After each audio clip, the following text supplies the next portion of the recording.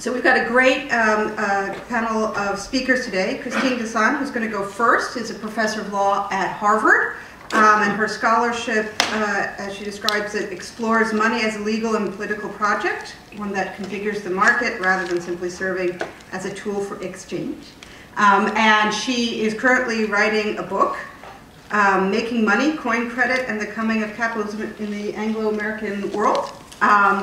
Uh, which uh, will probably come up in her remarks. Um, uh, Farley Grubb, uh, who will be next, is a professor of economics at the University of Delaware and a research associate at the National Bureau of Economic Research. He has published many articles on monetary regimes during the colonial and early Republican periods in U.S. history, um, uh, and we'll be talking about that um, today. Um, and then third is Woody Holton, uh, who is Peter and Bonnie McCausland Professor of History at the University of South Carolina.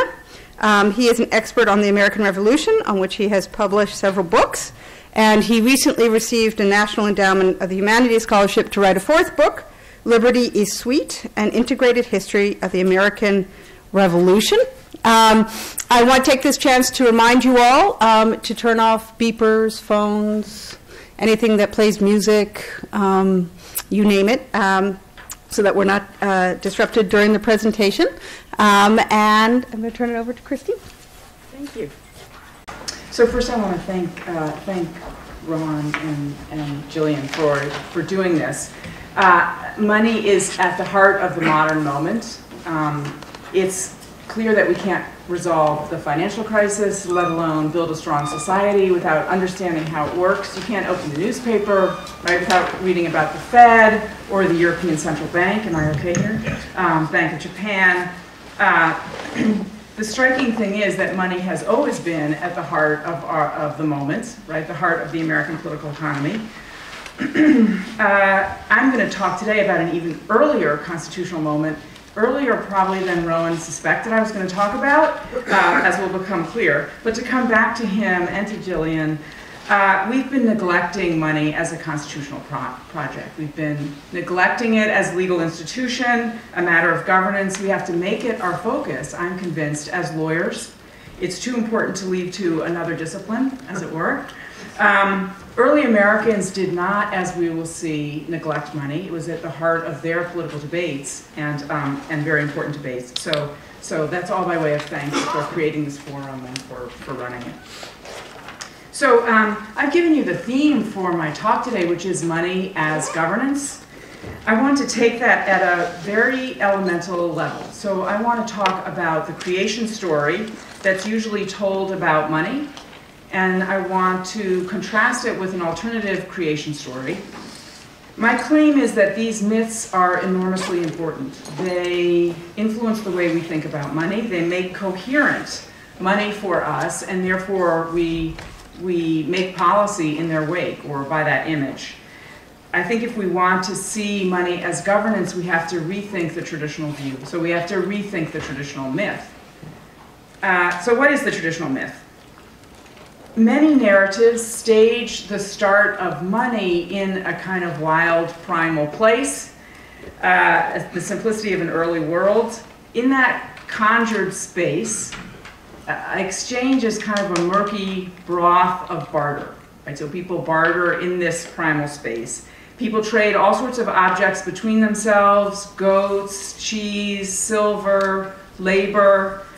And in this fluid mix of exchange, they increasingly find silver or gold, let's take silver, uh, especially easy to give and take. So that metal, like fat, kind of rises to the surface of this bartering society.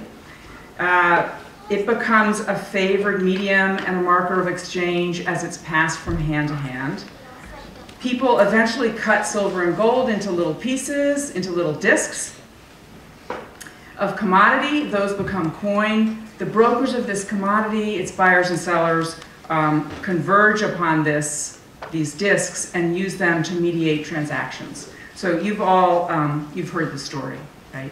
Um, content changes over time, government becomes involved after a while, um, as society becomes more complicated, the government begins to mint money for people, making it more convenient, more regular for people to use. And in fact, that's basically what government do, is doing. It's regularizing um, a commodity that's passing between people. Eventually, banks begin to give out paper representations of silver or gold coin. And after a bit, people are willing to hold the paper and forego the gold, right, the gold deposit. The government, again, as a secondary agent, comes in, gets involved uh, to act as lender of last resort to stabilize this system that we've got going. So here's the point if you think about this story. Money is rooted in the exchange of private actors. It's either a commodity, like gold or silver, or it's a convention, like the agreement to take banknotes instead of demanding the gold deposit. The government's a secondary actor. It provides basically technical services, not political judgment. As Carl Menger put it, no one invented it. Money is a natural product of human economy. So he had this image of people trading and all converging towards the most tradable object, which was um, silver or gold. Now, I assume if you're in the room, you've probably moved beyond this simple story. Um, you've thought about it.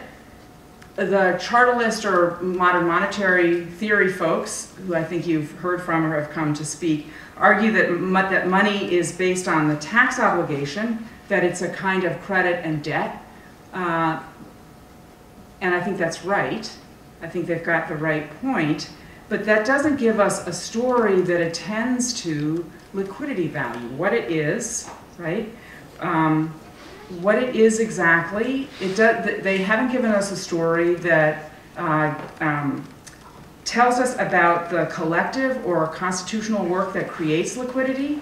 So to say tax obligation credit debt is immediately to start talking about law, but we don't have the, um, the structure, right? The system that's creating credit and, and debt.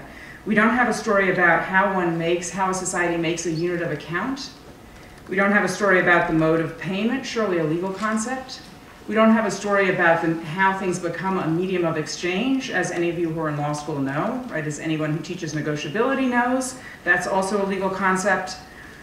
We haven't connected any of those functions, which we assume and attribute to money, to, um, to the tax obligation. We haven't figured out if money is tied to the tax obligation, how early governments moved beyond money that was so tightly tied to the fiscal, um, to fiscal activity that money would have ebbed and flowed um, as their spending and taxing rose and fell. We haven't explained if there is a connection between taxes and money, why it's obscured, right? Why we seem to forget about it um, all the time, and why, therefore, we can revert to a story about money as barter.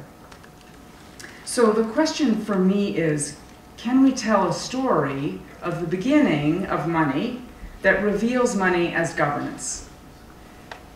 So I think the answer to that is yes. Money, it turns out, is a constitutional project, constitutional small c. But we're going to get to constitutional big C when these guys take over. Um, making money is a way to mark and mobilize material value both for the government and for individuals by their interaction. So, and contrary to their intuitions, uh, making money requires less political prowess or bureaucratic capacity than coordinating in-kind contributions from many participants. Making money starts at the center, not in the decentralized exchange of barter. It starts at the center. Uh, it can money makers can work selectively and with limited information and yet enlist the contributions of a broad group. It depends on a basic pact. So here's the pact that makes money. Participants advance the time value of a resource to the government, or to, in my story, the proto-government, in return for that actor's unique ability to create liquidity, um, to create a way to count value that people will give and take in payment. So I want to try to tell that pact as a story now and hope to leave a stage for the monetary debate that the Americans carried out. So, so here's the setting. If we take the beginning of money seriously, that is, if we take seriously the proposition that there's a society without liquidity, then we arrive in a place that's dramatically drier than the broth of barter that people imagine when they start talking about money. So there's no unit of account or shared means of understanding or valuing, measuring things. There's no universal mode of settling accounts. There's no common meeting, medium. There's no activity that produces price, whether in grain or in barley or in the shadow kind of liquidity, the imagination of silver. Nothing rises to the surface in really primitive societies. Um, certainly not silver. We're talking here about subsistence households when we can talk about the Dark Ages if you want, um, uh, which I've um, done historical work on. Uh, if subsistence households are transferring anything or setting aside anything to transfer to each other, it certainly wouldn't be silver, which you can't eat, right, which has no use value um, for the moments when you can't use it for exchange. So there's no exchange outside of barter, and barter is likely far from the kind of awkward triangles that economists imagine when they talk about barter. However people transfer goods and services between themselves depends not only on how they value those things, but on what practices of claiming, using, giving, and taking exist in a society. Why would we assume norms of property and contract that supported transfers of goods in a world like this, right? If we don't have a, a government that's actually building property and contract. But the transferring goods between individuals, the agents in the kind of liberal barter story that I told at the beginning, is far in, is a far easier matter than mobilizing resources among a group. So imagine the challenge to a group in a world without liquidity. So let's say it has to fight a war or defend its territory. It might do that by coordinating and redistributing many in-kind contributions, but that's really hard, right? You have to actually coordinate all these in-kind contributions, get them where you need them, when you need them.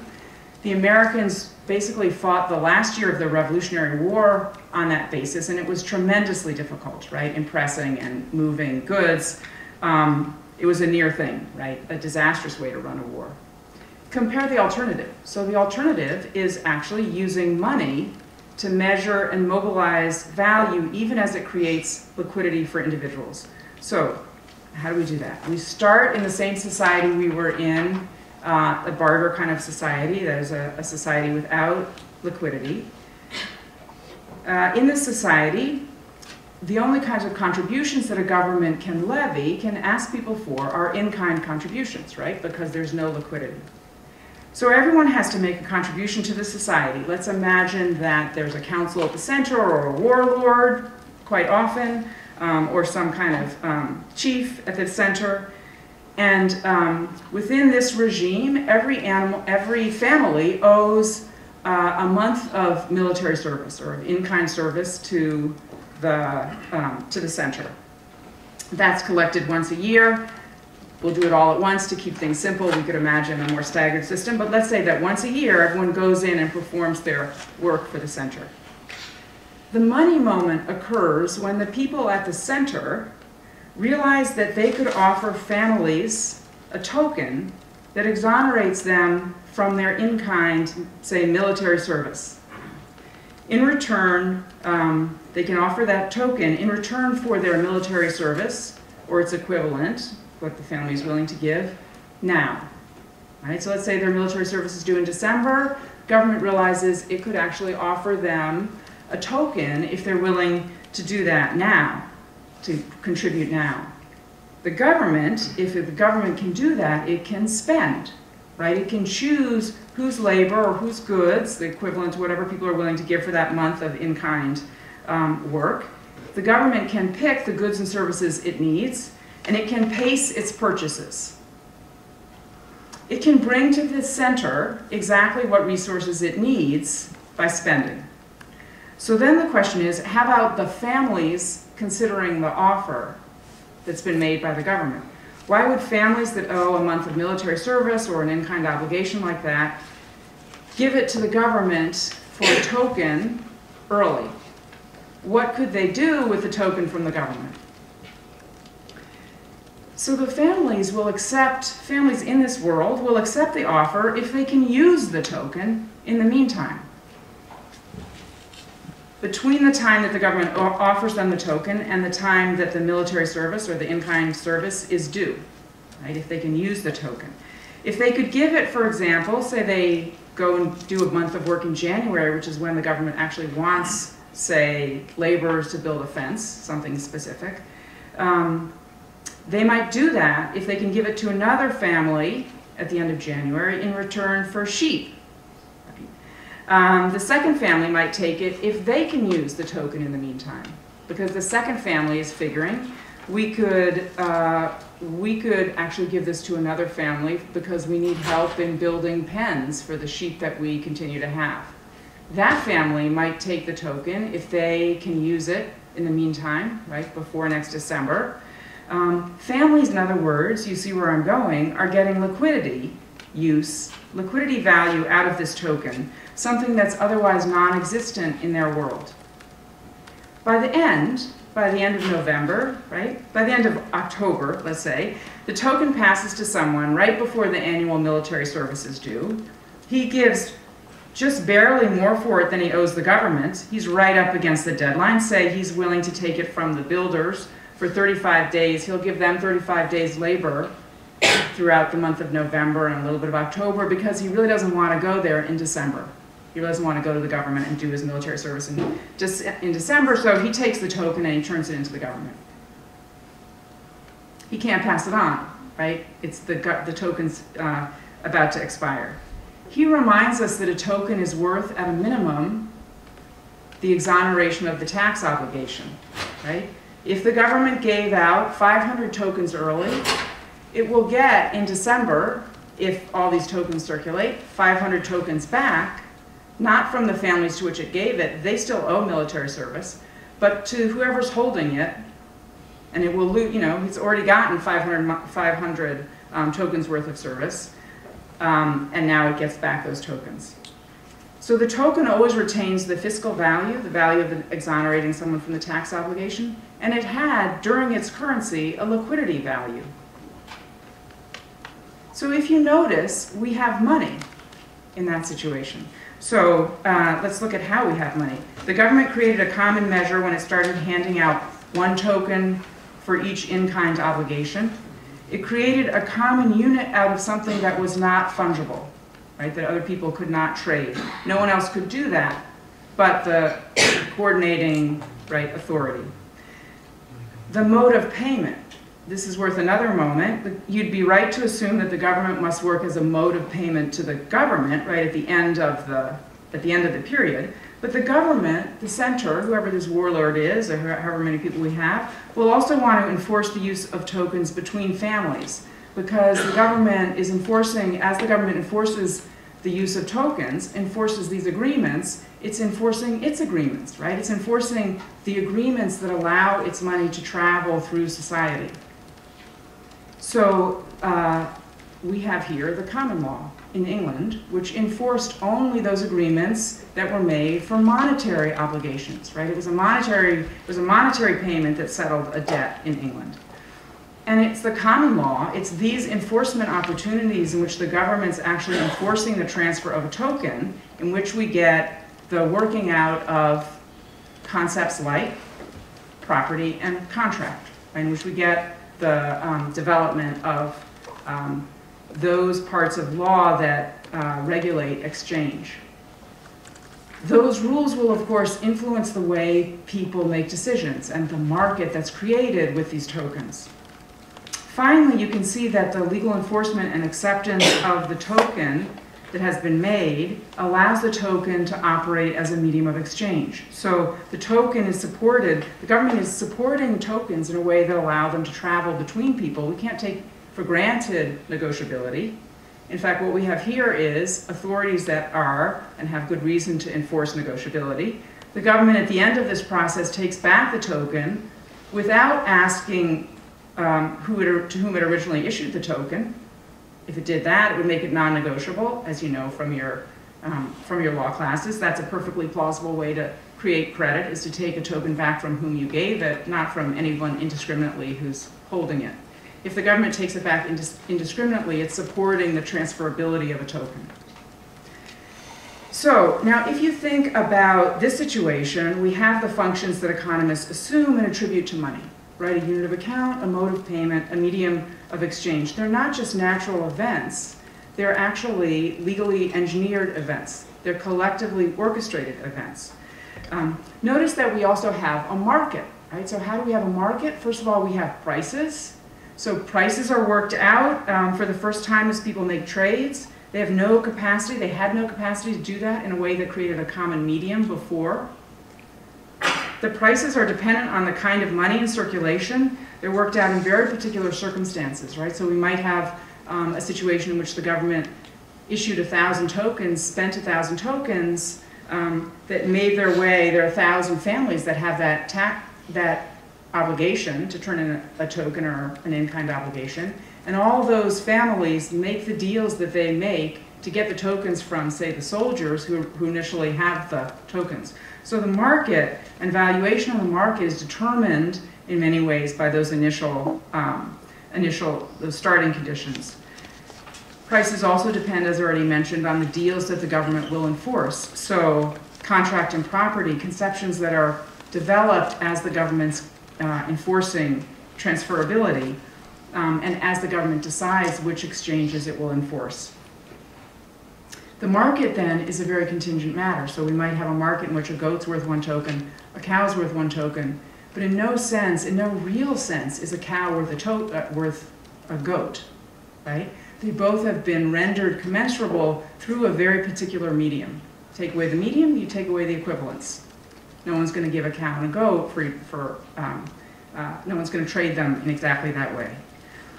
Okay, so let's step back and just look at the phenomenon. I know I'm going to, I'm to wrap up soon. What's constitutional about this? So what's, it's constitutional because we have this um, very uh, collective engineering event. The government's able to measure and claim resources, able to spend, ultimately injecting money in what might be quite a narrow way, right, through a narrow expenditure, but mobilizing a much larger catchment of contribution from people people gained liquidity in return for their advance of resources. So they advanced resources before they were due, either to the government or others who held tokens before they were obligated to do so. But they got liquidity, a rare thing in this world, in return. Uh, so a last note here, um, and we can talk about this more in the questions. I don't want to take up more time, but I do want to just um, flag a few things. There are lots of areas for monetary experimentation that would enrich and, and layer layer the model that I just gave you. So our money has problems that would disturb exchange if you think about the money that I, um, that I laid out for you, and there are different ways that societies can and have dealt with those problems. So to name a couple obvious ones, my money had a time discount, right? It was losing liquidity as it traveled because you had less time to send it on. Um, money was worth the most when it first entered circulation. There are different ways that societies have dealt with that problem, have rolled um, expenditure and taxing dates or have made indistinguishable the token and the expiration date of the token. Think about silver coin, about how silver coin operates. Um, there's a bigger problem that I'll just mention, which is we had in my society very erratic spending and taxings. Um, and uh, the, the money supply depended directly on the fiscal activity of the government. Uh, but what if people want to make more trades than that? If they want more liquidity than the number of tokens that the government put into circulation. Uh, there are a lot of possibilities that we could engineer as part of this constitutional project. Uh, and they could sit, they would sit on top of the fiscal infrastructure of money. Um, they would depend on it, but they might very well obscure it. So for example, um, we could sell people money to supplement the money that was in circulation. So that I would would um, offer to you is exactly what the medieval mints were doing when they sold coin. And as an, an entree for Farley, uh, it's what the land banks were doing. I don't know if you're going to talk about land banks um, in the colonial world. Uh, we could also license other actors to sell money, like commercial banks in a different world, right? if we wanted to expand the money supply. Um, note that when societies do these things, when they elaborate their, their monetary designs, um, they become quite complicated, they become quite different, they become quite distinct, and it's all very fertile ground for lawyers, right, to actually think about how the monetary system's going. Each of these monetary innovations would matter enormously Each of them would distribute profits in a different way to the government's mint, to the commercial banks. Uh, each would influence us to think about money in a different way. If the government's minting it, we think of money as sovereign. If commercial banks are making it, we think of money as a product of investment decisions, as made by investment decisions. Um, those decisions about how to channel money uh, and how to think about it were at the heart of the constitutional moment in 1789. They're at the heart of the constitutional moment today, uh, and I think we're returning to them with a real sense of urgency.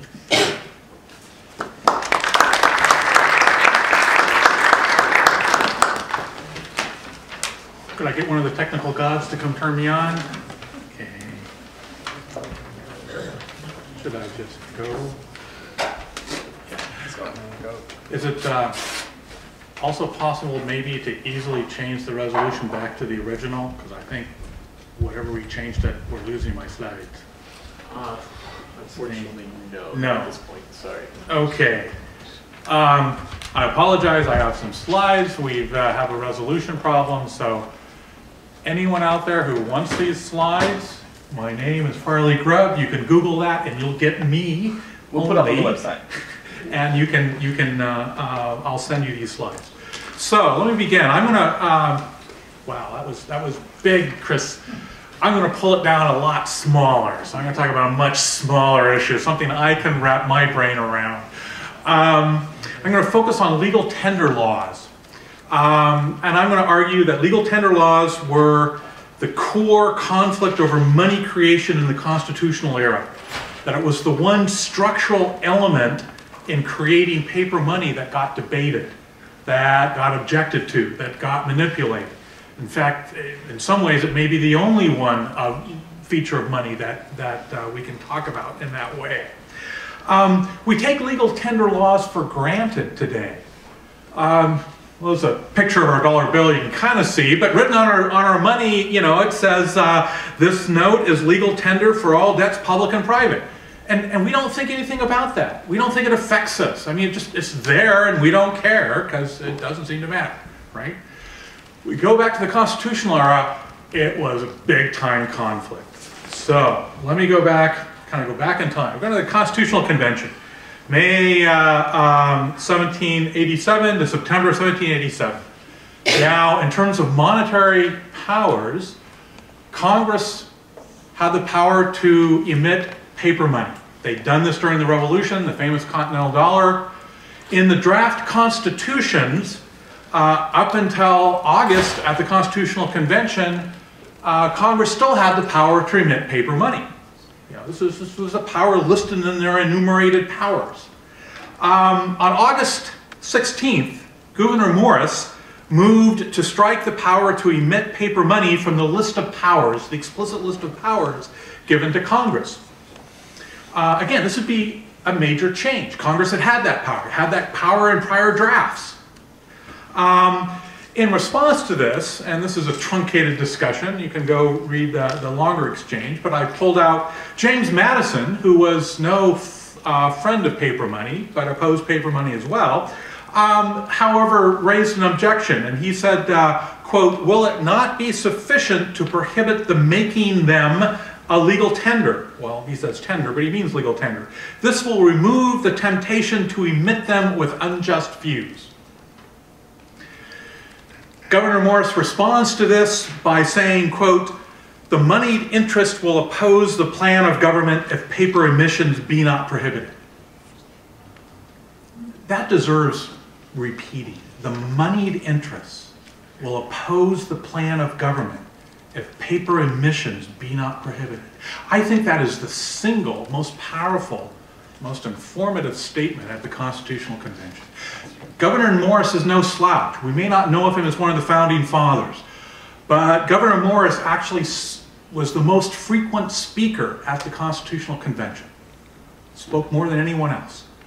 Uh, he was also one of the uh, major, I guess, movers of the main bank of the time, the Bank of North America. He spoke for the moneyed interests.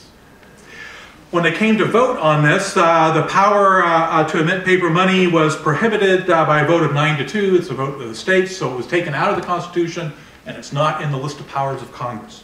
Um, now, I put this up here because the objection to issuing paper money, they didn't discuss why this was bad. Everyone just knew it was bad. Paper money is bad. Why? We're not going to tell you. James Madison's the only one who raises a structural issue. He says, well, it's legal tender laws. If we get rid of the legal tender laws, then it's, it's okay, right? It won't cause injustice if we issue paper money. That's really what he's saying here. Uh, and it's the moneyed interest who says, well, no, not even then. We want to get rid of it. But they never tell us why. Um, most of the rhetoric that comes out of the Federalists uh, uh, for why they've got to get rid of paper money is mostly just that, rhetoric. Their major phrase is paper money is mischievous. That doesn't mean anything. You know, mischie- uh, that's like saying dubious. It's like saying, sir, you engage in dubious pleasures. It doesn't mean anything, but it frightens you. It frightens, it frightens me. God, dubious pleasures. Know, oh, paper money's mischievous. Oh my God. If you read through the literature, that's how they talk. They don't tell you why, but they use that rhetoric to scare you. So I bring this up because Madison's the only one that says it's, it's maybe this, this legal tender problem. So let's go back. And then before I leave this, I have to also mention uh, George Read from the state of Delaware at the Constitutional Convention also states one of my favorite lines in this debate.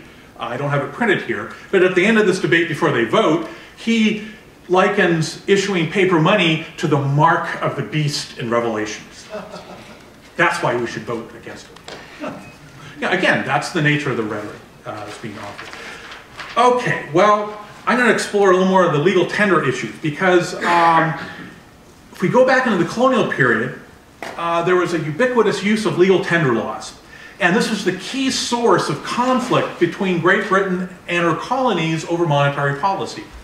And I kind of list up here, uh, um, I guess, yeah, I guess you, you can't, you won't be able to read my graphs, but you'll be able to read my big print.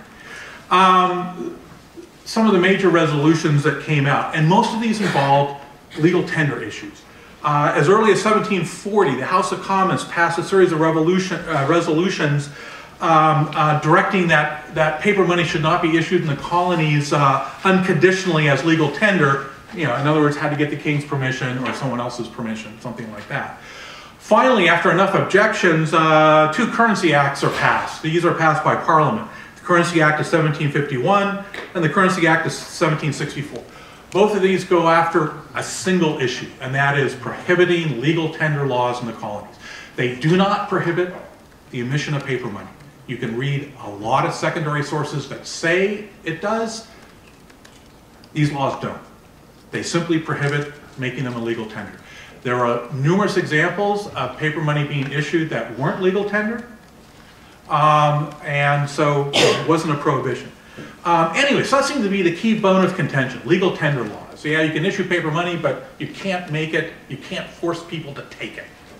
You know, this meant to the British, you can't force British merchants to take it in payment of stuff. They didn't like doing that. Um, so again, this is, this is a huge bone of contention. Today we don't think about it. Back then, that was the key conflict. The question is kind of why? Well, I can't read much. I just showed you a couple pictures of, of uh, paper money. That's New Jersey uh, legal tender, some of the last legal tender they issued, uh, 1763. When Parliament outlawed making paper money legal tender, some colonies stopped issuing it. New Jersey stopped issuing legal tender or stopped issuing paper money after 1764 when the Currency Act prohibited it. Uh, Pennsylvania didn't. They still issued uh, uh, paper money. They just didn't make it a legal tender. Um, I also show, I don't know how to get that off the screen. That's a, the bottom one's a, a continental dollar. During the Revolution, when Congress issued paper money, The mouse, maybe. is there a mouse? Yeah. Ah, yay. Um, when uh, uh, um, uh, Congress issued the Continental Dollar, they didn't make it a legal tender. In fact, Congress didn't think it had the power to make things a legal tender. They went through six emissions of Continental dollars, six separate emissions with separate dates on them, uh, before they turned to the states in 1777 and said and asked the states, will you make this a, a legal tender in your state? And the states obliged. So again, we had the Continental Dollar was issued not as legal tender for the first uh, two years, you know, and not until 1777 is it made a legal tender and may have caused some problems. So why is this such a bone of, of contention? And my argument's going to be kind of the, the rationale And the problems with legal tender laws in this period, uh, period of colonial paper money and uh, uh, revolutionary paper money, is because of the structure of this money, that it's very different than our money today. Um, these pieces, uh, pieces of money, this stuff here, I want you to think of those not as US dollar bills today, but more as US savings bonds. Think of a world, what, what would the world be like if our money was a US savings bond? That was the money we traded with, not dollar bills. Different kind of, different kind of money. And that's, I'm going to argue, what colonial money and the continental dollar really was. They were zero interest bearer bonds. So they're like a US savings bond, but transferable. US savings bonds aren't transferable by law. But if we made them transferable, they would be like a money. What legal tender laws did is they, and you see a lot of this in the literature, and I think this is incorrect. Legal tender laws did not support the face value of this money. Benjamin Franklin was really clear on this. In Benjamin Franklin's single longest speech that survived, he explained to the Pennsylvania legislature in the 1760s that uh, Pennsylvania paper money was a fraud because it didn't trade at its face value. And it didn't trade at its face value because it was a zero interest bearer bond. He didn't use that language, but he said it was like a savings bond. You know, so its value today is less because you're going to pay it off later. And uh, he said, if you make it a legal tender, that's not going to force it to trade at a higher value. People, people will adjust their prices. And he says this several times in his career. He says, if you make money a legal tender, people simply adjust their prices to reflect its value. It doesn't support its face value. So in other words, legal tender laws had to do something else. They weren't there to force paper money to trade at face value.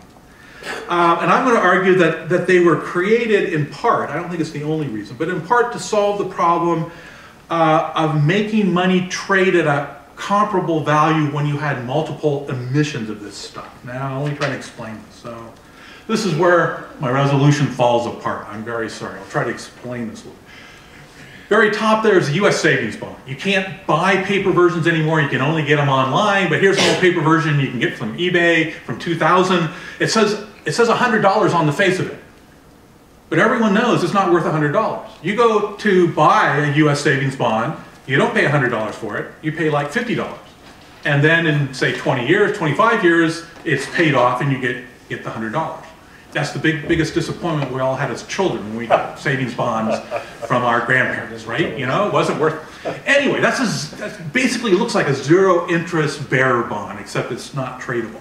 And if you can see the line here, what it basically says is when the thing is issued, if you, if you, no, you can't read that. The thing, thing is issued and it's a 20 year payoff period and the interest rate's about 3.5%. Uh, in the first year, it's worth only $50. And then it gets worth more and more, and finally in year 20, it's worth $100. So if you're going to use that as money, if you think, okay, we only have this as money, how's it going to function? And what people will do is they'll simply adjust their prices to reflect the money's current present value.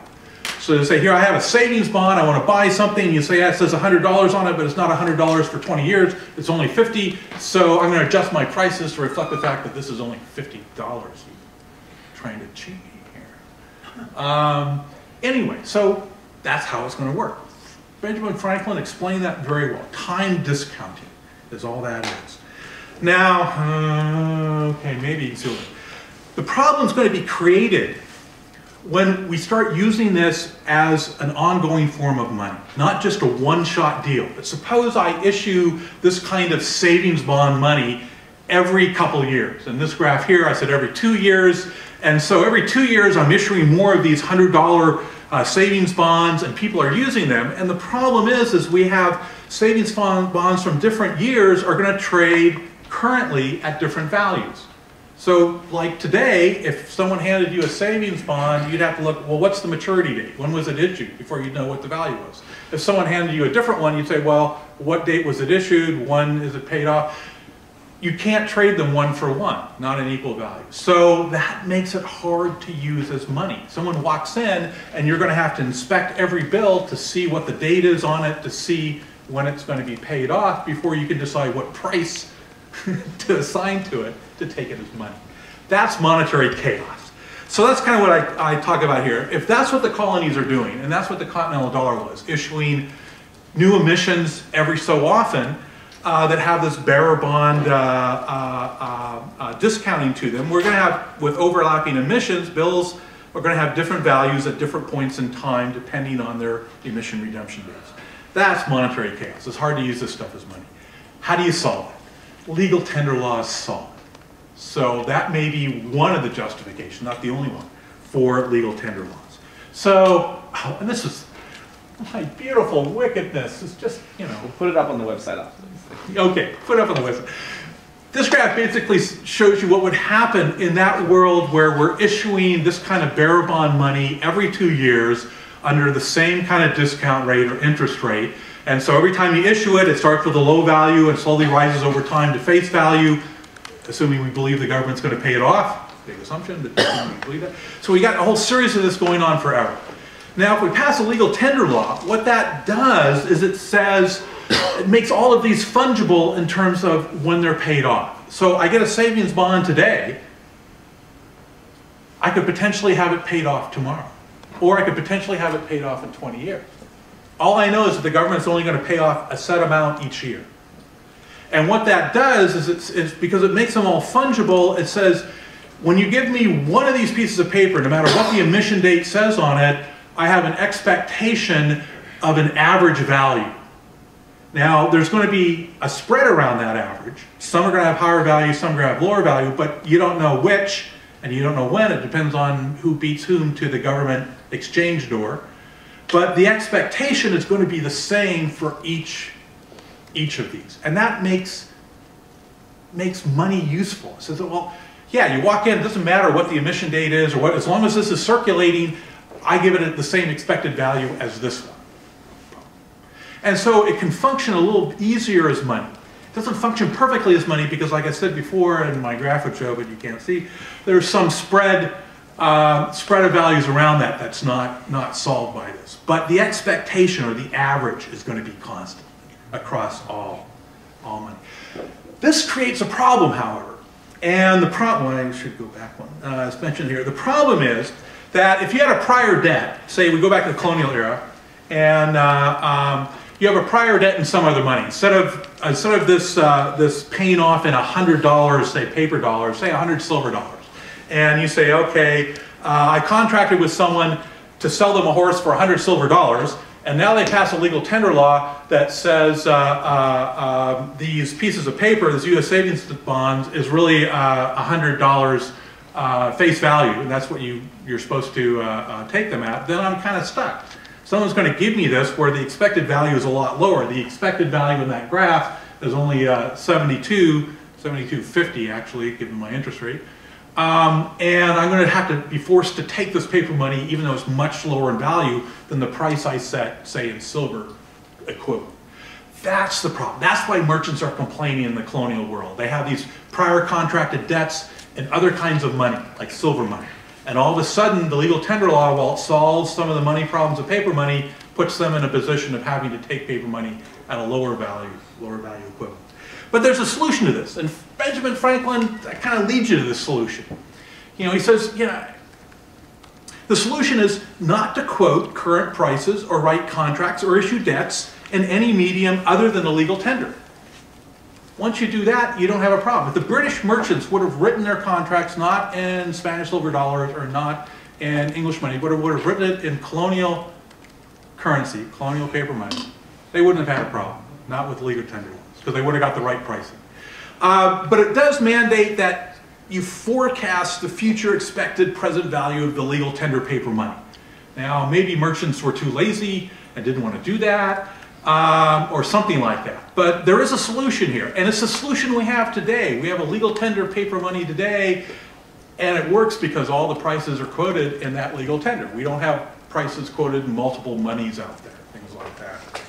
Um, now, if creditors do not want to do this, write their contracts in the legal tender, uh, forecast this value, uh, uh, write contracts in current prices, if they don't want to do this, um, um, and uh, uh, uh, a contract in some other money, like silver dollars, then they are potentially hurt if in the case of a breach of contract. So we, we have, I'm going to sell you a horse.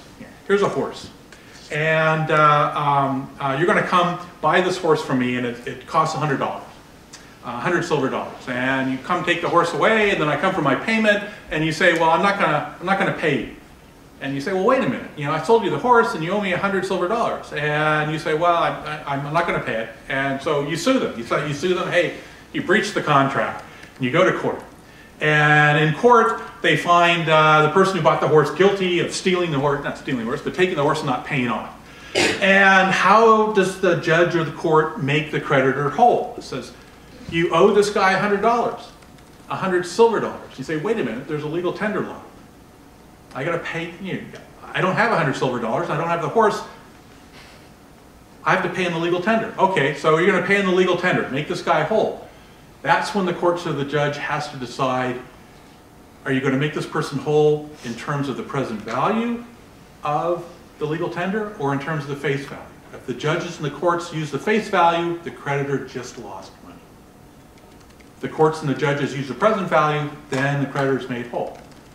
So in that sense, British merchants or other people objecting to legal tender laws were objecting primarily to the problem of courts and judges making decisions on making breach of contract cases based on the face value of the legal tender, not on its present value or bearer bond status. Um, got a minute left or half a minute. Conclusion. Uh, legal tender laws were the primary, if not the only, specific structural component of monetary policy sparking objection in the constitutional era. Removing legal tender laws resolved British objections to colonial paper money made primarily by British merchants, and paper money had been often emitted without legal tender laws. Didn't function well, but it had. At the Constitutional Convention in 1787, James Madison, a foe of paper money, thought that removing legal tender powers would remove the objections to legislature-issued paper money.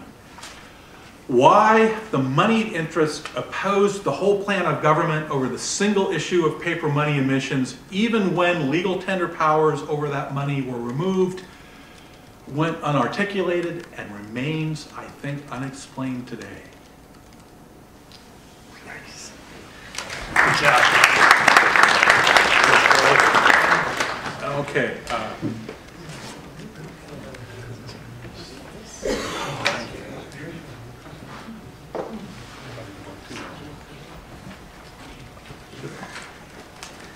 Anybody want to take an early guess about which Columbia professor's centennial? I'm, I've never dedicated a paper like this to somebody, but I'm dedicating it to that guy. You might know who that guy is, has a big centennial, one of your professors from exactly 100 years ago. I'll tell you in a second. But while I'm doing my trivia questions, let me give you this one. I just click it to go. Can you read that? All those people are referring to the same clause of the U.S. Constitution. Which clause is it?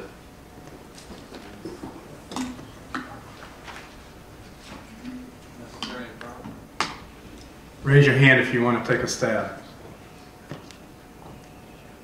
Not only do they like it, they say um, if this were the only clause in the Constitution, that would be enough. See Benjamin Rush saying that, and James Wilson basically saying that too. All we need is this one clause and we can go home. What's that clause? Yes, sir? Necessary and proper. Nope. You would think so. The sweeping clause? Nope.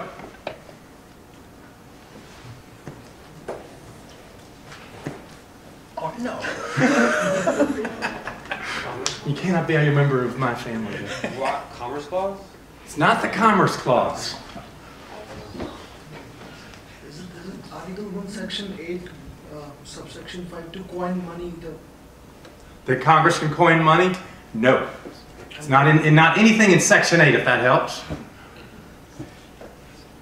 The most popular clause in the Constitution at the time it was written and sent out for ratification was this clause that nobody has named yet. Not making states be able to pay debts anything other than legal currency. Absolutely. Our convener gets us to Article 1, Section 10. There it is. Um, Farley just mentioned that the Constitution silently allows the Congress to issue paper money, um, but it very explicitly prohibits the states from doing so. It can't issue legal tender paper money. See the uh, uh, uh, that would be impairing the obligation of contracts. Did someone say contracts clause? I don't think anybody did. Yeah, okay. I hope I didn't miss my winner. So A, you can't issue paper money and make it legal tender for contracts because that would impair the obligation of contracts because inflation is a way of transferring wealth from the creditor to the debtor, right?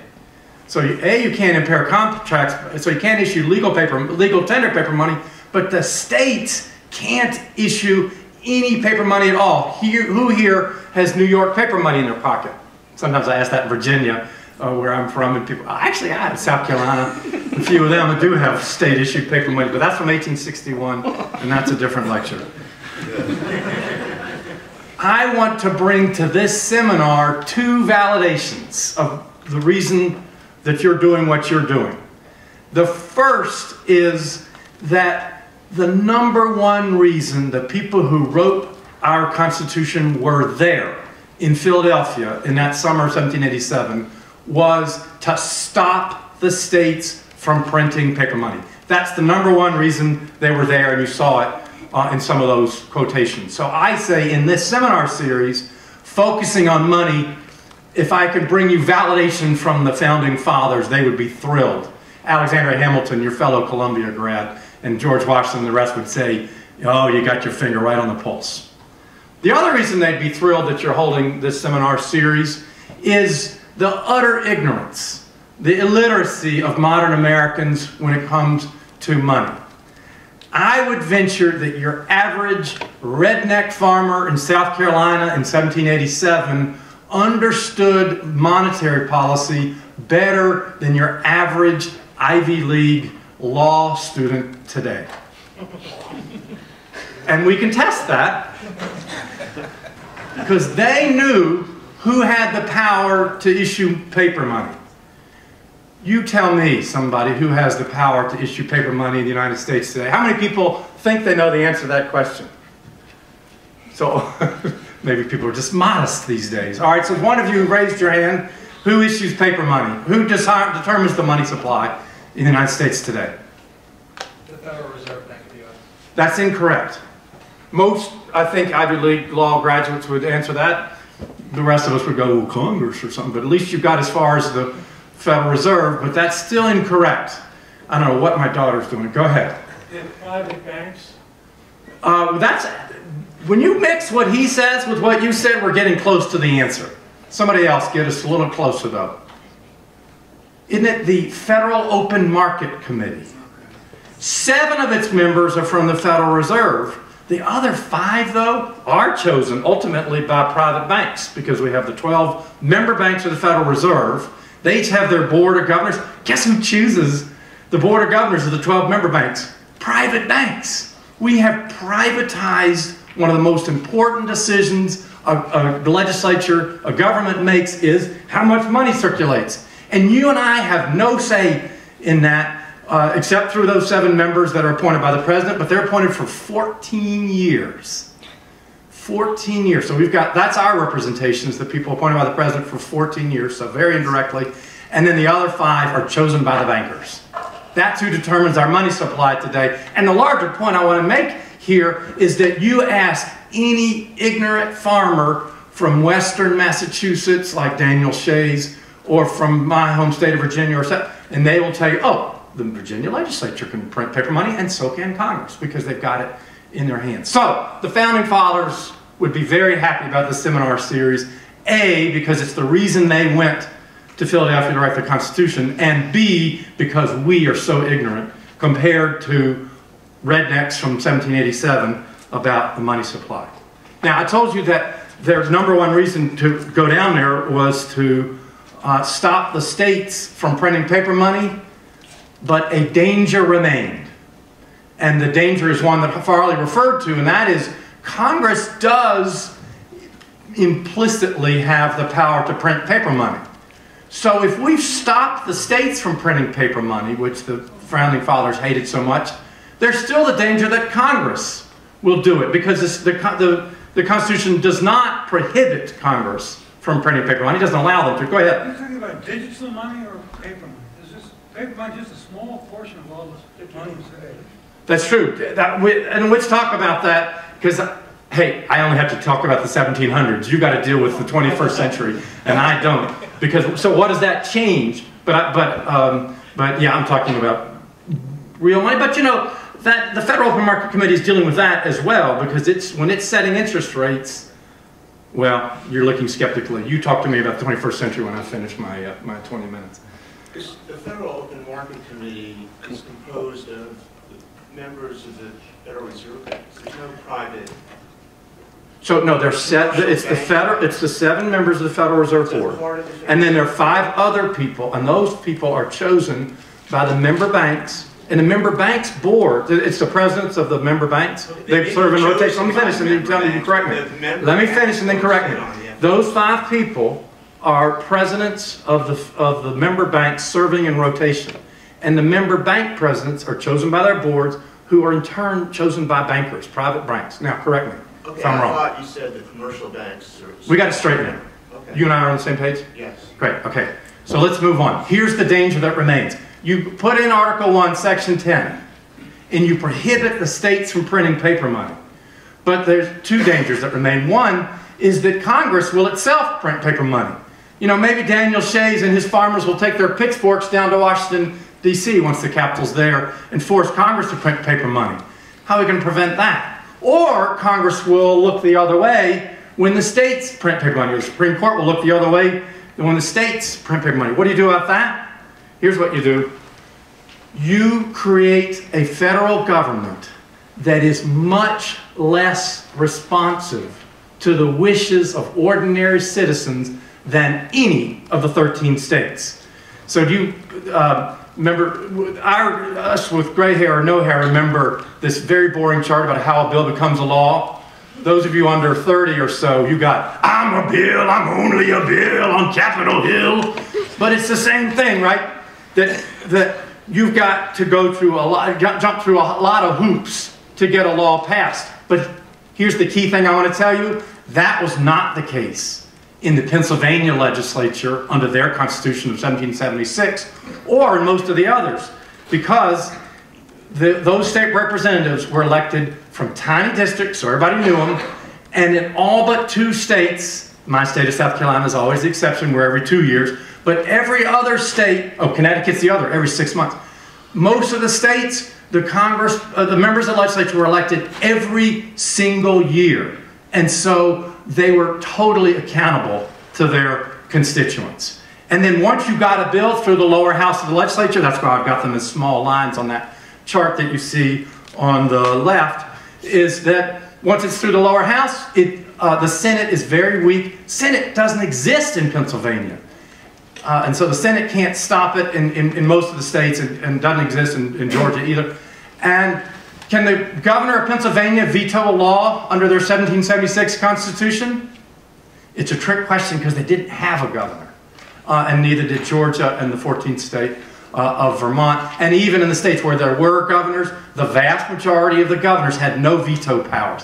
We're getting close to Athens here in the sense that the people really had their state uh, representatives under their control. And so if the people of South Carolina want paper money in 1785, they get it. Uh, and they did in that year. So did Pennsylvania, so did seven out of the 13 states during just a couple years between the end of the Revolutionary War, the five years between the end of the Revolutionary War and the ratification of the Constitution. Those lines are small because uh, it's pretty easy to get legislation passed. Contrast that to the federal Constitution, where you've got one body elected for two years, the House, but anything they initiate's got to get through the Senate, elected for six years, and not chosen by the people until 1913, right? And then it's got to get through the president. He's chosen for four years, which is a long time in their in their scope of things. When they believe that annual where annual elections end, their tyranny begins. Got to get through the president for four years, and then through, of course, the Supreme Court, which is elected for life and also indirectly. Remember, the Supreme Court is quadruply elected, uh, quadruply insulated from the people. Because in many states early, early on, you didn't even get to vote for your presidential electors. Your legislature chose that. So let's walk through it. I'm a farmer in South Carolina. I vote for my representative in the state legislature. He votes for the South Carolina presidential electors. They vote for the president. He chooses the Supreme Court. And so there are four layers of stockade, four, of concentric rings of protection of me as a Supreme Court justice from that redneck farmer. I'm not going to do what he tells me to do. I don't have to. And that's the whole point of the federal constitution is uh, um, Edmund Randolph from Virginia put it so well. Let me grab the quote from him. What we, what the Constitution gives us is checks against the popular um, intemperance. Think of the federal government as surrounded by one stockade fence in a circle, and then another one around that, and another one around that, and another one around that. And the biggest one of all was just the fact that it's so big and so remote makes it really hard for ordinary people to influence it. Who here has read Federalist Number 10 by James Madison? My daughter, you've read that, Beverly? They're doing that in first, in sixth, in kindergarten these days. But you've all read Federalist 10, haven't you? Raise your hand. Are people not? Some people haven't. I thought they forced. Don't you guys make them? Yeah. Okay. Here's the private version of Federalist. Federalist 10 is all about, oh, we got the problem of factions, tyranny of majority. What are we going to do about that? Um, and Madison has a very learned way of talking about that for public consumption in Federalist 10. But here's what he said more privately three weeks earlier to his buddy James Madison, who was over in Paris. Um, and one of the Latin scholars can remind us what divide et impera means. Somebody. Divide and conquer is absolutely right. We want to, bear with me on this, by pulling the 13 states together into a federal government that's going to control monetary policy as well as taxation to pay off the war debt. But by pulling the 13 states together, by uniting them, we will divide them and prevent the people from bringing concerted pressure on their representatives, and therefore those representatives will be free to do the right thing, meaning not print paper money. And not do any of these other irresponsible things that farmers were accused of having done um, when they controlled the legislature for all that time. All this is necessary because independence created a problem no more adult supervision. There's that bill from Capitol. Oh, look how sad he is. You know why he's sad? He got vetoed. Look, the state, the, a lot of the colonies tried to print paper money during the colonial era. But if they printed paper money after 1751 in New England and 64 in the other colonies, that money got vetoed by Parliament. And of course, the Houses of Parliament were not built in the 19th century, so bear with me. But the point here is the founding fathers wrote the Constitution because the American Revolution created a problem. And the problem the revolution created was a lack of adult supervision. If you let ordinary redneck farmers force their legislatures, who are elected every single year, to pass laws controlling the money supply, they'll print too much money. And what that will do was transfer wealth from creditors who lent money, it will transfer that wealth through the process of inflation to debtors. And we're going to shut that all down uh, now by prohibiting it in Section 10 and by having a federal government that is not responsive to the voters, so it won't print paper money and it won't let the states print paper money too. Here's a way to put it. There's Dorothy on the right and, and Toto on the left from last Halloween. When they come back with their Halloween treats, parents, do you leave the bag of candy on the kitchen floor and say, oh, have as much candy as you want? No. You take the cookie jar and you put it on a real high shelf where they can't reach it because they are children. Remember that picture, girl? And they can't take care of themselves. So you've got to put that thing on a high shelf where they can't get to it. And that's the purpose of the United States Constitution to take monetary policy away from the states who are irresponsible. They're like children. You take it away from the states and you put it on the high shelf where they can't get to it. You put it in the, in the hands of a federal government that is not responsive to ordinary citizens. That's what the Constitution does. And the irony of all of this, all you got to read is the pink part. This is uh, Benjamin Rush writing in the Pennsylvania Gazette, Ben Franklin's old newspaper in 1786. He says there's two reasons we can't have paper money. He, he's admitting that paper money actually worked pretty well in Pennsylvania before the American Revolution, back when the British were ruling things. But two problems have opened up. One is we're more spread out. And I don't want to deal with that problem right now, that's a separate issue. But the other problem is he has what he calls a feeble constitution. Ten years earlier, the um, people of Pennsylvania created this incredibly democratic constitution. Remember I said no Senate, no governor. All you got to do is get a law through the lower house of legislature and it's the law. So that means those legislators are beholden to the people. He says that's a feeble constitution and we can't have paper money anymore. And so the great irony is that having rebelled against this limited monarchy, Great Britain, and established a republic, there's certain things we can't allow ourselves anymore. And one of those things we can't allow ourselves is, is paper money uh, printed by the states because um, it'll, it'll be done irresponsibly. Okay, I've got two minutes. Here's the guy we're celebrating the centennial of. He got his PhD here at Columbia and then taught here before resigning in protest. It's Charles Beard. And thank you. A hundred years ago, he published a book that you've all, I hope, heard of called An Economic Interpretation of the United States Constitution. Um, and he looked at the fact that the Constitution shut down paper money and other protections for debtors and taxpayers. And Beard's theory about this was well, of course, the founding fathers wanted to protect creditors from debtors and wanted to protect bondholders from having taxpayers get tax relief that means the bonds can't be paid off.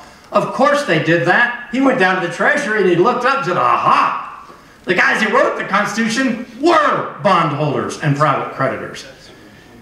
I think this is intriguing. There's something to be said for it, but I want to disagree uh, with Dr. Beard uh, on this because I don't think that's the reason the founding fathers were had such a deep animus against paper money. Uh, I think they did because they said it prevents people from lending money. Madison's a perfect example of this. 1787, when he wrote the Constitution, he was uh, 40, let's see, 53.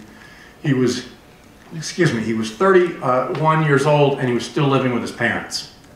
Why? Because his effort to go set up on his own as an entrepreneur had failed, and why had it failed? I'm sorry, he was 35, and, he, and he's still living with his parents couldn't go on his own. What's the one thing that every business needs besides that enthusiastic entrepreneur? Exactly, capital. And nobody would lend him the money because, quoting his friend Jefferson, who also wouldn't lend him money, the habitual protection of the debtor would be against you if, would be against the creditor if they ever lent you money. Um, and uh, and they wouldn't, they wouldn't be able to get it back if you ever landed in court. So we've got a horrible recession in the year 1785, 1786. The only way out of it is for the leaders of the country to go down to Philadelphia and write a constitution that prohibits debtors from screwing their creditors. Because if debtors can't screw creditors, then creditors will be willing to lend money. I'll say very briefly, since I'm out of time, that there's another side to this story. Here's a political cartoon that ran and later colorized in a, in a uh, Connecticut newspaper in 1787. And you've got, this is before the Constitution was written. So you've got the people on the left who are, who are going to write the Constitution. They're for shutting down paper money. They pro prohibited, and uh, that, that is, they prevented uh, Connecticut from printing paper money. They want high taxes to pay off the war bonds and so forth. But then there's these guys on the right. Um, and uh, maybe you can read what this guy's saying. The guy holding the, the rake there has been uh, raking a salt hay down in the marsh. And he says, takes all to pay taxes. They're offering an alternative explanation for that terrible recession of the 1780s. Uh, ordinary farmers are saying, it's not our fault that there's this terrible recession. It's, this is not a recession caused by irresponsible monetary policy, by too loose uh, uh, printing of paper money. Do you know what happened? What, what's the big grievance that caused the American Revolution? It's a no blah without blah. Taxation. Taxation without representation, right. So, what's the first thing, when they got their own representatives, what's the first thing those representatives did? Levied taxes that were two or three times higher than the stamp tax and the tea tax and all those other taxes put together. Of course, they had enormous taxes to supposedly pay off the war debt, but it was all going to bond speculators, which transferred wealth from the countryside to the city, from farmers uh, to merchants. Look, taxes, you, a, a- a legislature can tax a society into recession. And that's the alternative explanation for this recession of the 1780s, which I actually think is the correct one, or the more correct of these two explanations for the recession. If these farmers are right, that this was a tax-induced recession as opposed to a too much money-induced recession, you know what that means? We have a strong federal government because of a monetary mistake. And I'll stop there.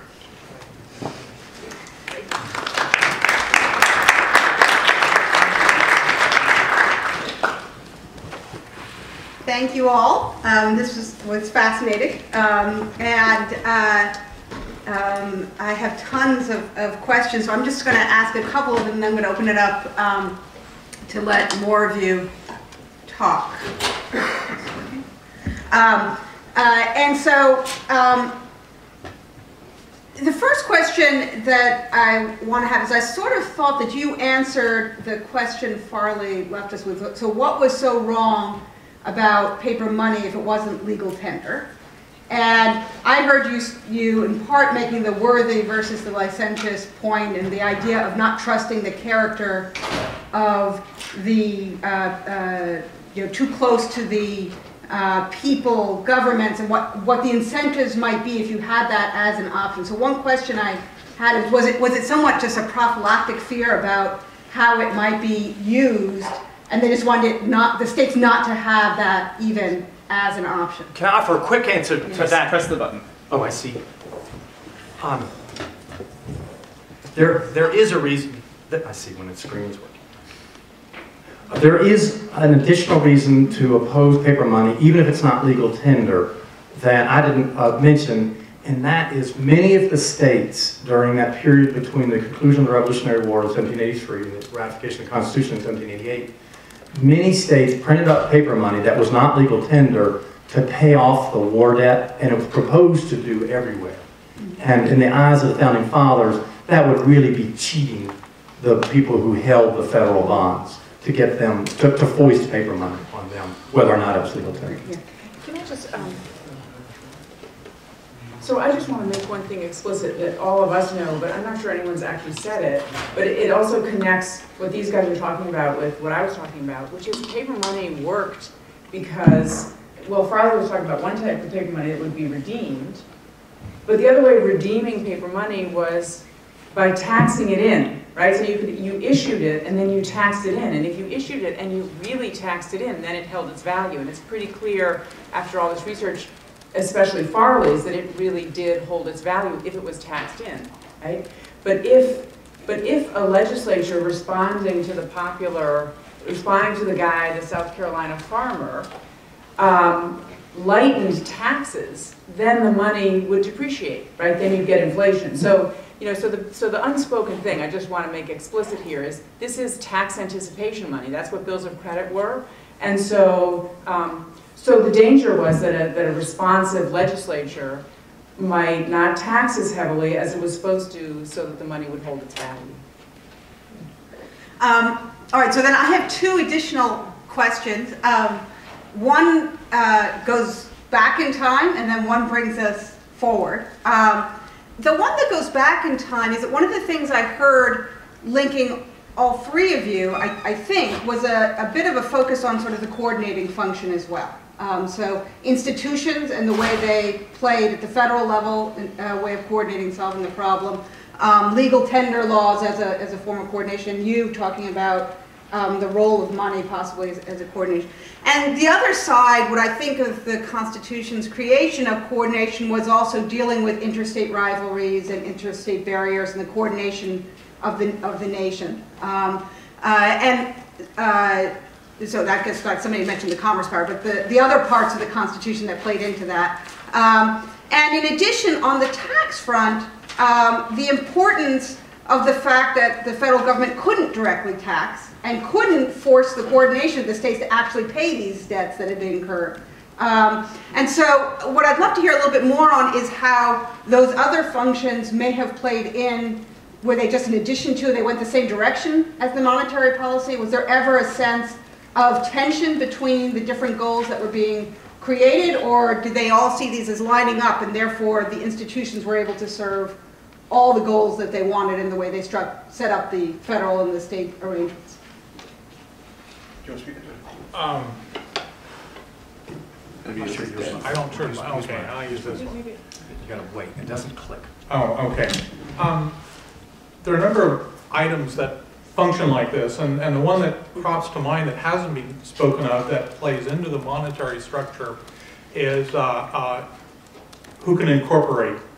You know, at the Constitutional Convention, they didn't strip the states of the power of incorporation. States maintained it. They talked about giving the, the Congress the power of incorporation, and they did not. You know, what happened is the states used the power of incorporation to create banks. And banks then issued paper money fractionally uh, backed by specie. This created our standard, somewhat unstable fractional reserve banking system that we still have today. So in some ways, the states still had power, depending on the power they had of the corporation, to control paper money supplies and local money supplies. Now, it still had to be linked to specie through a banking structure, but they still had control there, not the national government. Um, but it was a different kind of control than what they had before.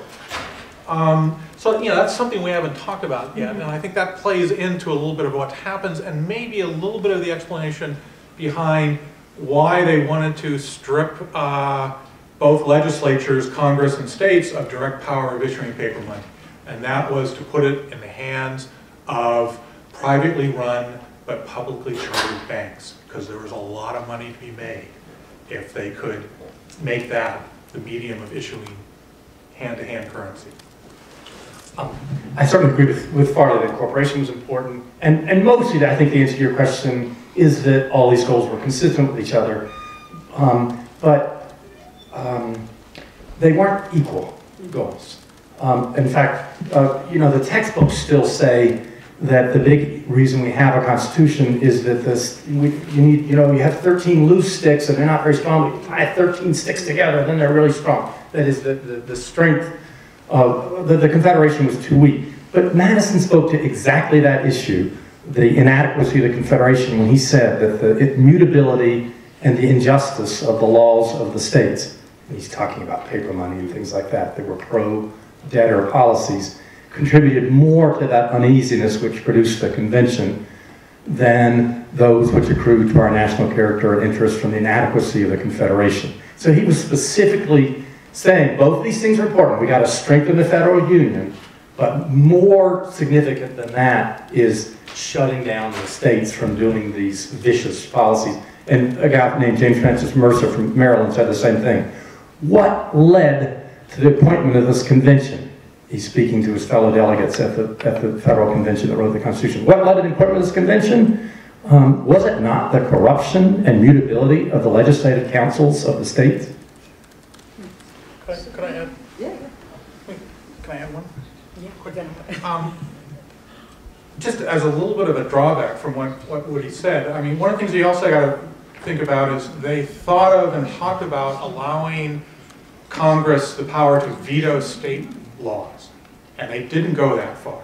And part of the counter argument, I think it was Gouverneur Morris again, he just said, oh, they're gonna cheat each other in the states, and who gives a rat's ass? That's, that's basically what he said. He doesn't care, you know, what happens within a state. Let them cheat each other or do whatever. We're not gonna step in and veto those laws. What- But they cared about the national level and that, you know, what states would do that would affect national stuff. That's what I think you're really getting at. So, It's not, but let's, let her go, and then I- you and I can fight that out. So I think in some ways I was going to say something that picked up on this question. but It's a great question because it's really, for us up here, we think, I think I speak for all of us, money is nation building.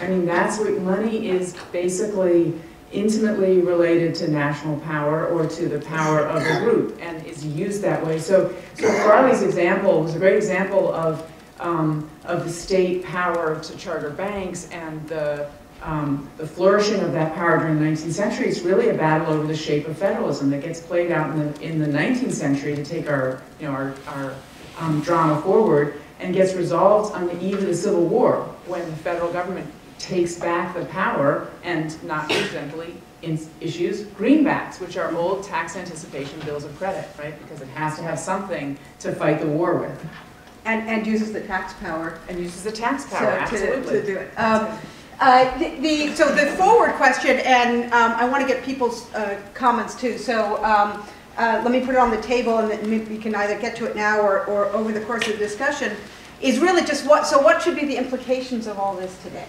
Uh, You know, so it- this, this is where we originate. Um, uh, What, what does that foretell about how we should either view federal monetary policy today or the federal government? Um, uh, And does it, at the end of the day, how much does it actually resolve of the debates that we are currently facing? Um, So you can either take that on now, or we could open it up and, Let's, let's open it up, Great. we'll definitely Good. get to that, it's a great question. So, questions? Yeah. So, um, I really like Mr. Holton's summary, the lack of adult supervision, effectively um, passing laws to control money supply, to prevent the transfer of wealth from creditors to debtors. I like that. Debtors to creditor. From, from transfer of wealth from creditors Oh, you creditors to read that right, I'm debtors is what I said said. My question is though, isn't now, we have the opposite situation where the use of devaluation or deflation or expansion and contraction cycles by creditors deciding when to loan money takes our property away from us and gives it to them. I absolutely And- agree. Right. Deflation has the opposite uh, result. And- So and what is in this constitution to protect our property rights from creditors? This is the big question I have. In, in 1775, the book, Kevin Phillips' new book, he actually describes how you lean a bit specie closer? shortages were why land was being grabbed by British colonial officers sent over here, who were assigning taxes and fines to people willy-nilly, knowing full well that there were no coins here, and then they would grab the property at auction and they amassed tens of thousands of acres for themselves. These were the real reasons for this war.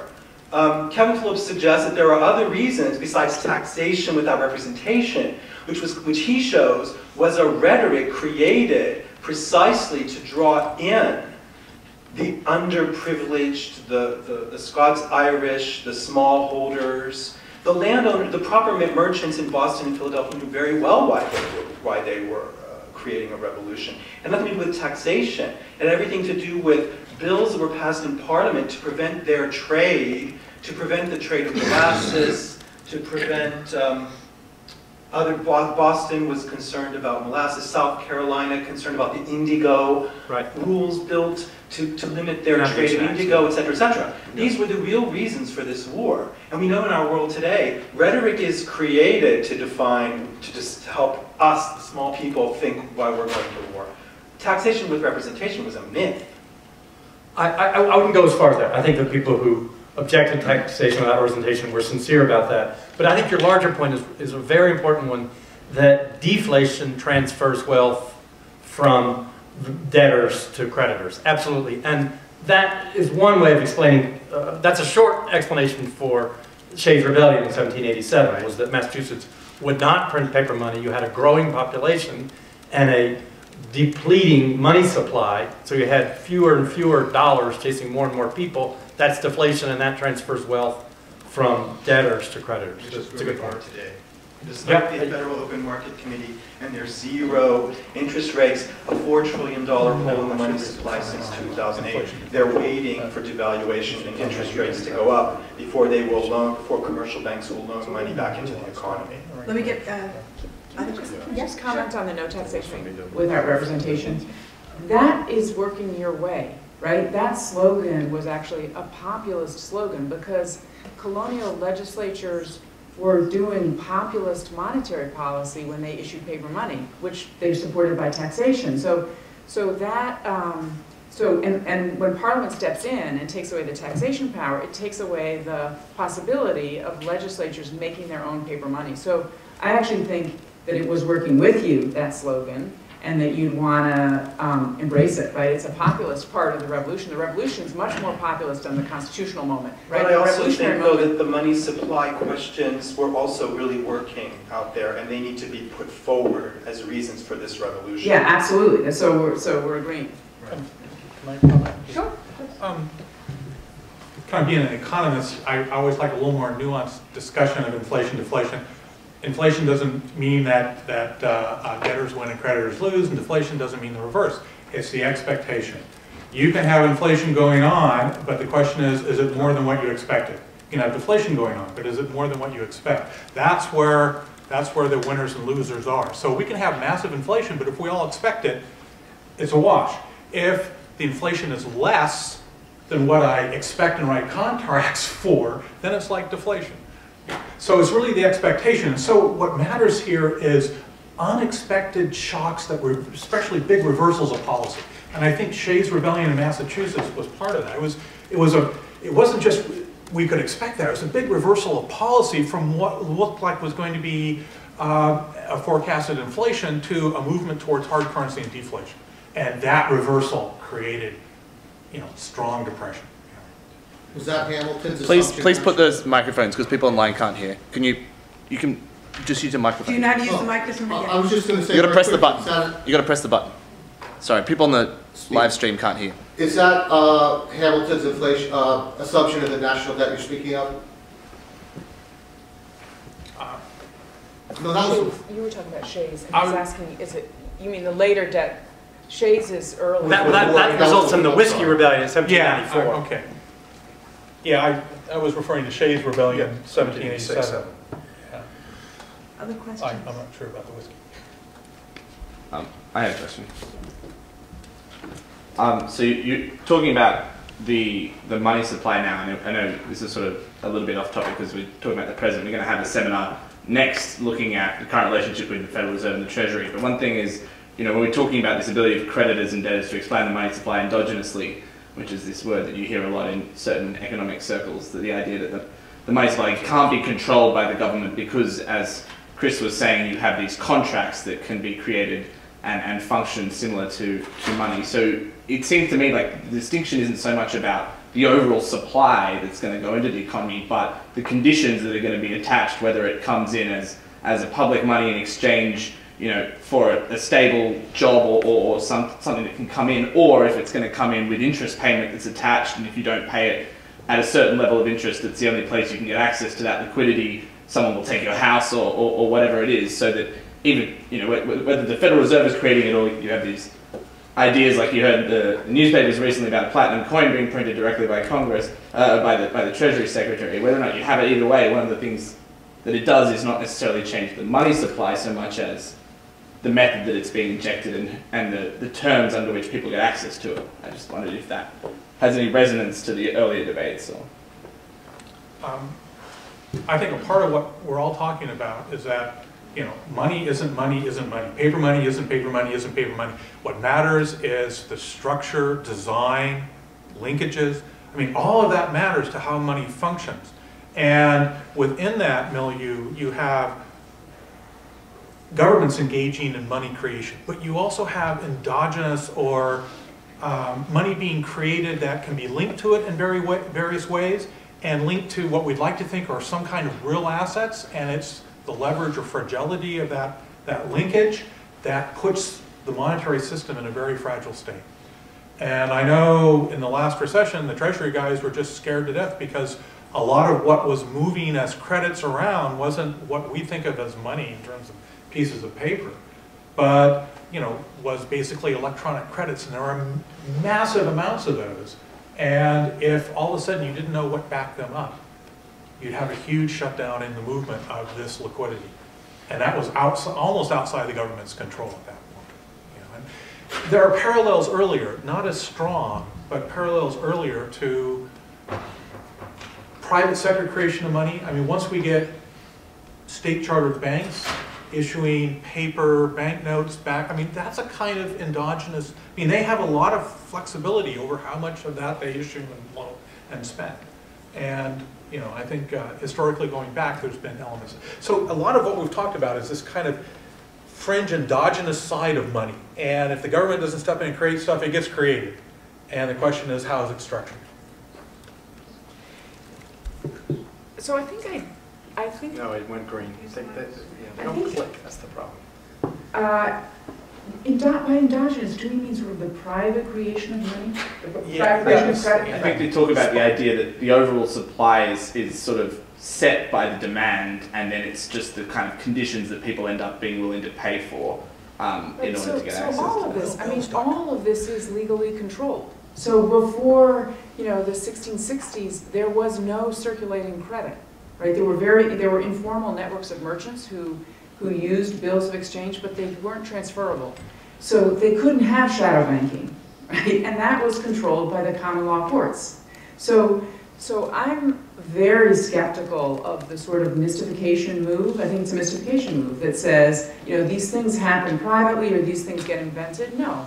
You know, they get invented because a court somewhere says, we'll accept that as a piece of paper that settles this debt, right? That's the thing that makes it robust and that makes it, and that makes it travel. So we could take apart the shadow banking system as a sovereign, you know, if a bunch of sovereigns did it, it would be hard if one sovereign did it at this point, but actually not at all impossible, especially was the United States. So, so these things are all still matters of monetary architecture and, and legal matters. So I really want to appeal to the law students here. We've really built this. It's not that it's out of our control, it's that we're ignoring it.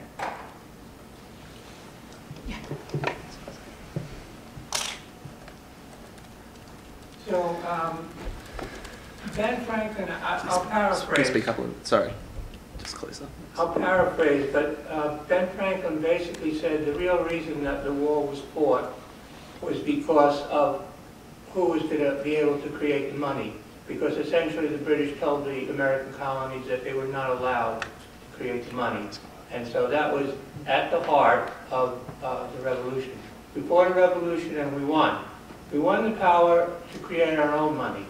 Now the issue became, and this is where I don't think anyone's really been clear about it, who was going, who of the Americans was going to create the money? Was it going to be the American government, either the states or the federal government? Or was it going to be the private bankers? And obviously, it turned out that it was the private bankers that won the control, the money power. They stole that power from the government. They took away, even though it's in the Constitution, it says in the Constitution that the federal government has the power to create money, but it- was ignored. And the private banks have taken that power continuously in this country, with the rare exception during the Civil War for a few years with the greenbacks.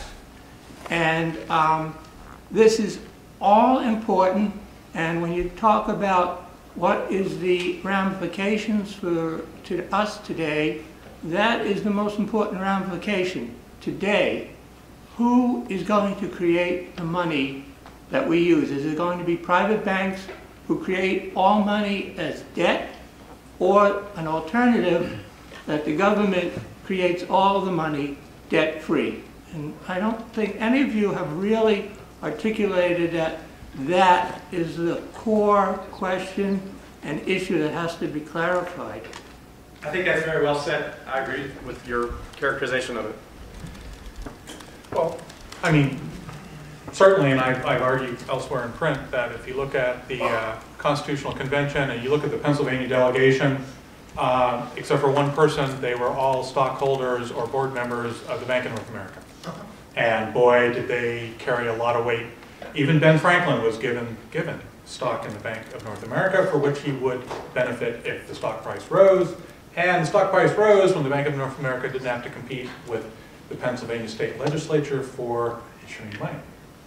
Um, so, I mean, I've argued elsewhere that the, the, the moneyed interest, one of the things they, they wanted uh, was to basically allow private banking uh, to control issuing of paper money uh, through a fractional reserve, reserve structure. Now, whether, I mean, I I wrestled in my head whether these two worlds could coexist. Could legislatures issue some kind of voucher credits, paper debts, something like that, at the same time, a private sector or, you know, publicly chartered private banking sector, sector could issue banknotes backed by gold and silver, or backed by mortgages, or backed by something. I, I- I don't know. I don't know whether a dual system like that could work. I, I like, I try to imagine what would happen if we went forward with both powers intact. And I just can't, I can't figure that one out. So I think it's, uh, I think we're all agreeing, this is a, this is a huge issue. And, um, and it's really informing the biggest constitutional debates at the moment, of the Constitution, so the Bank of the United States, huge debate, famous constitutional debate. Um, and, and the structure is not unlike the Fed after the 1930s, right? So that you get public debt Can you make sure you speak up, sorry? you get public debt, um, borrowing by the government as the, the base money, right, as the foundation for the unit of account, the dollar. And that is later, um, so let's skip over the 19th century, which is chaos because of the state banking structure. Um, that's later, that base money is later multiplied by the commercial bank. So you're absolutely right, something like 93% of the money supply is the commercial bank. 98? So, so, um, so I think it is, I think it's a huge sovereign issue.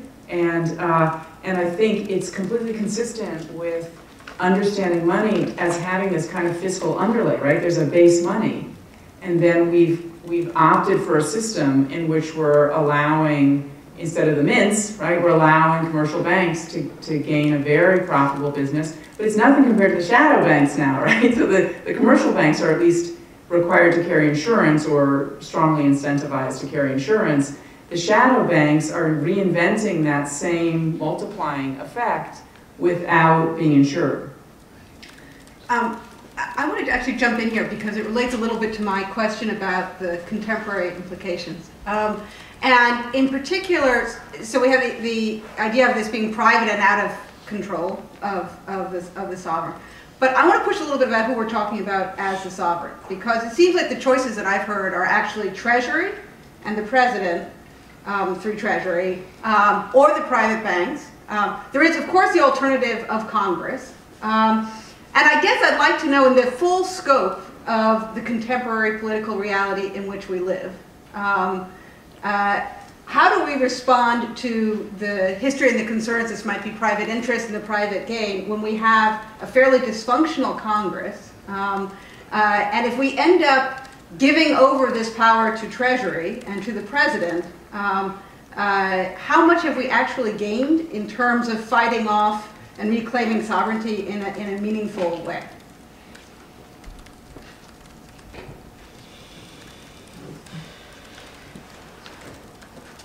I think it's a great question. So I, I'm only going to say a couple, I think it's a great question, I think it's a central question. I I just wanted to reintroduce the Fed.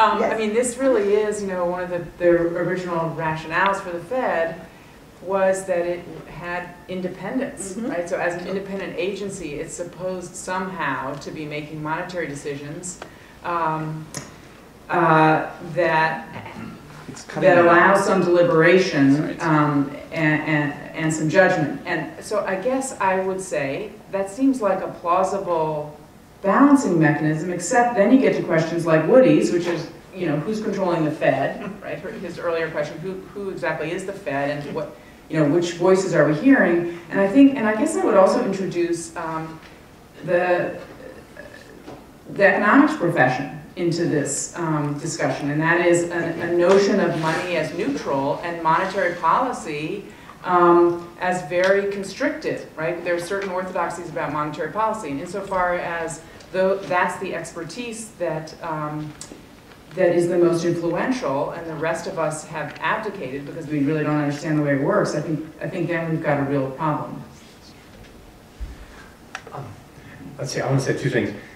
Oh, The first, on the, on the platinum dollar, I, I didn't follow that closely, but weren't the people arguing that the president himself, he didn't have to go to Congress, obviously, because Congress, where they find that authority for him to do that, I don't know. Is it under the Federal Reserve Act?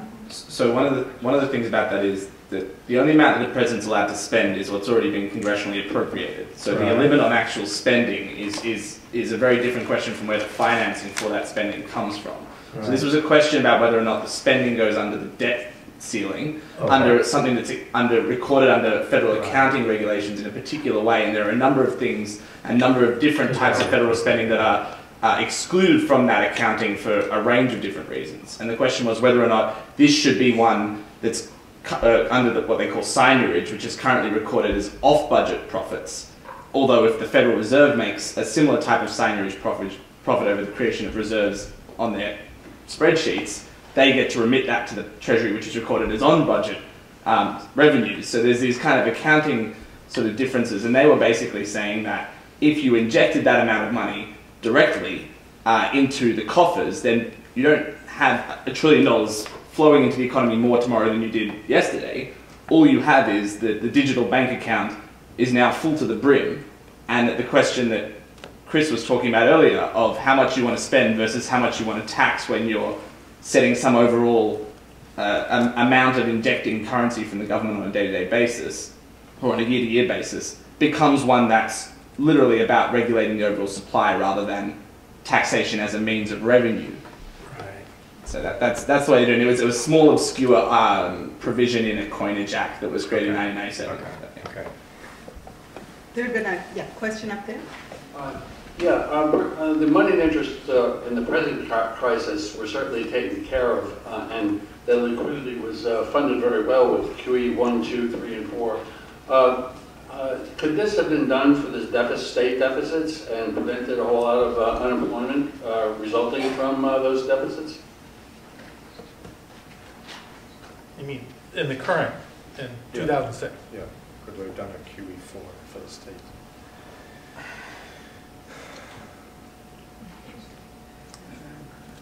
Yeah, I, I think, I think the Federal Reserve's allowed.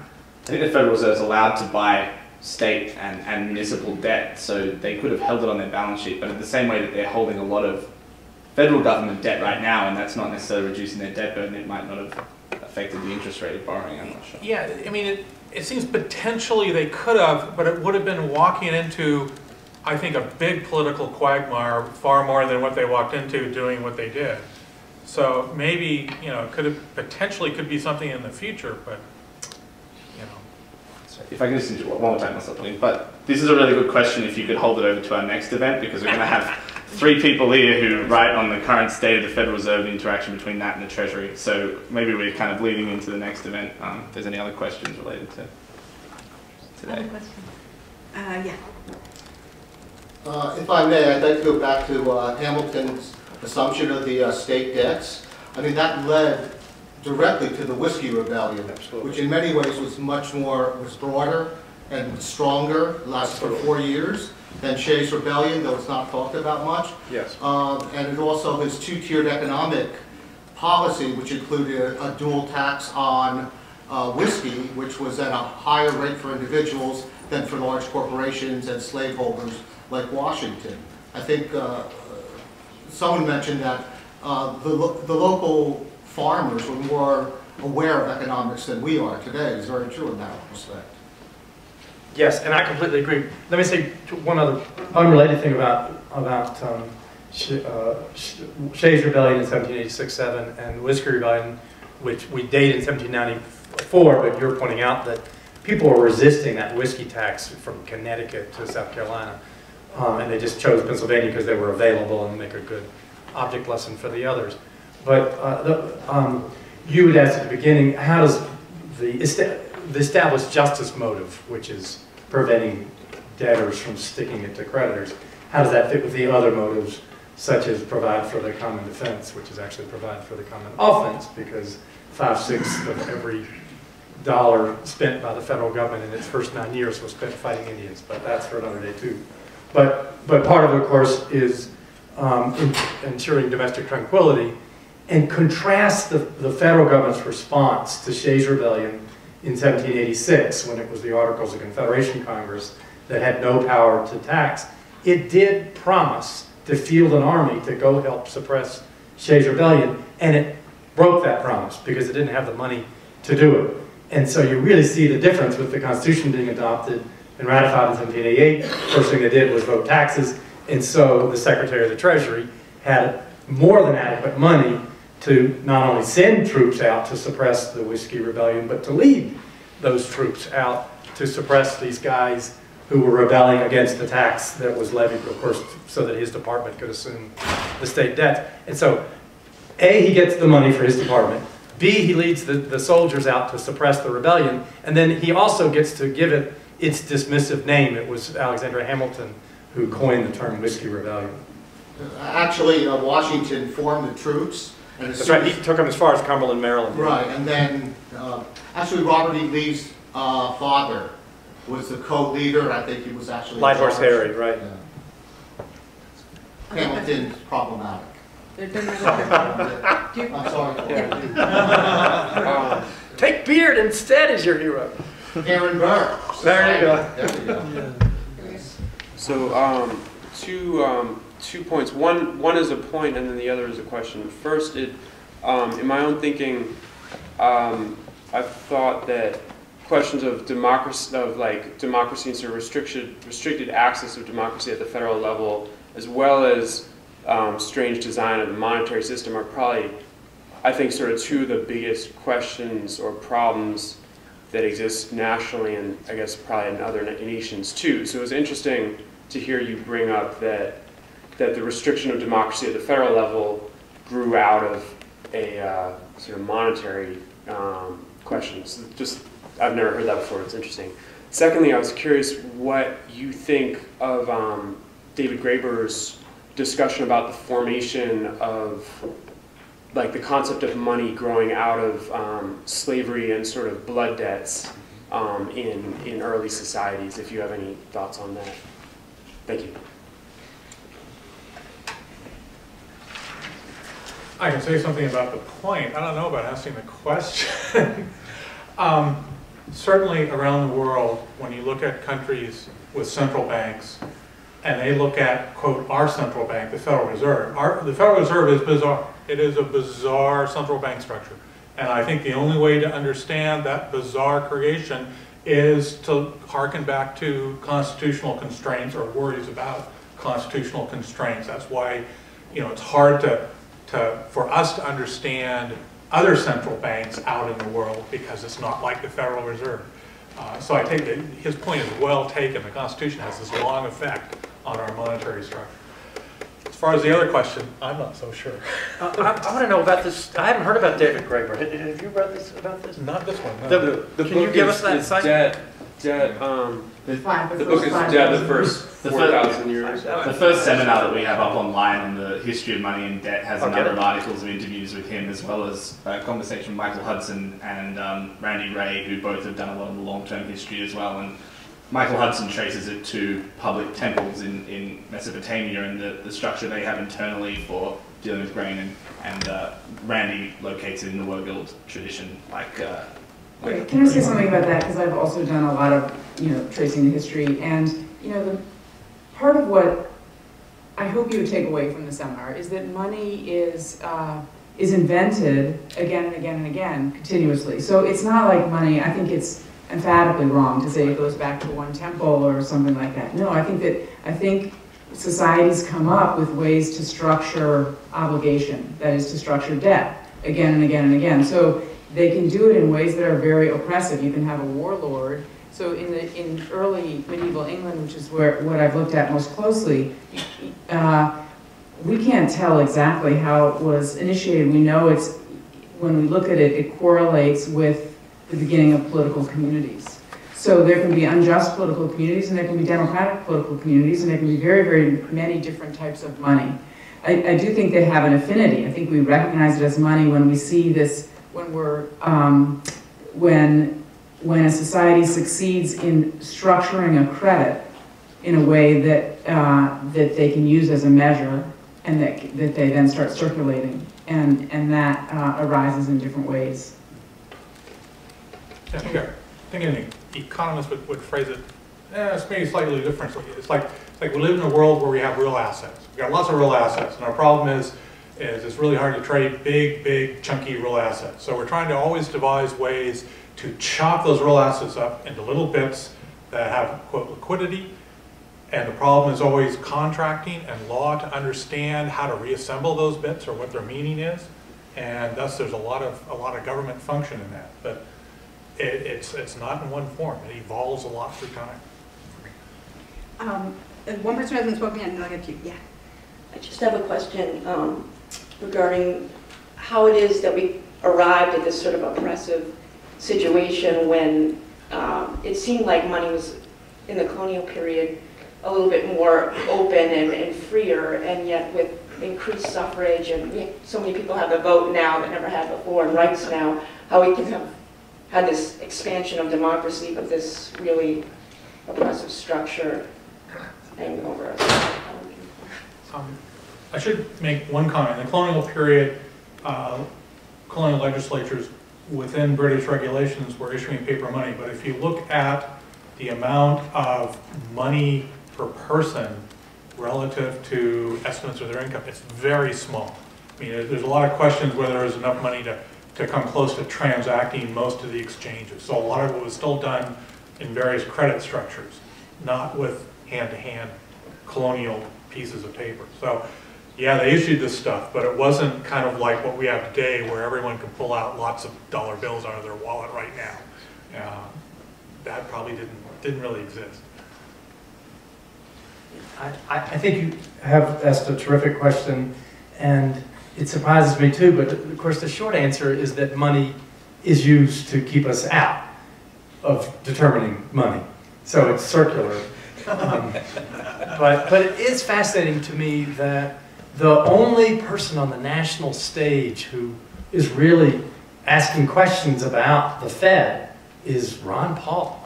Um, and so it's really relegated, questions about money is relegated to the crackpot crowd, or most of us perceive as crackpot. Whereas even 100 years ago, you know, that's what the populists were, putting the greenbackers before them, but the populists in the 1890s were pushing for was a, a, a money supply uh, backed by the government, not just the, the exogenous, and it's never exogenous because it's always the government who takes your house if you're if you don't pay your debt.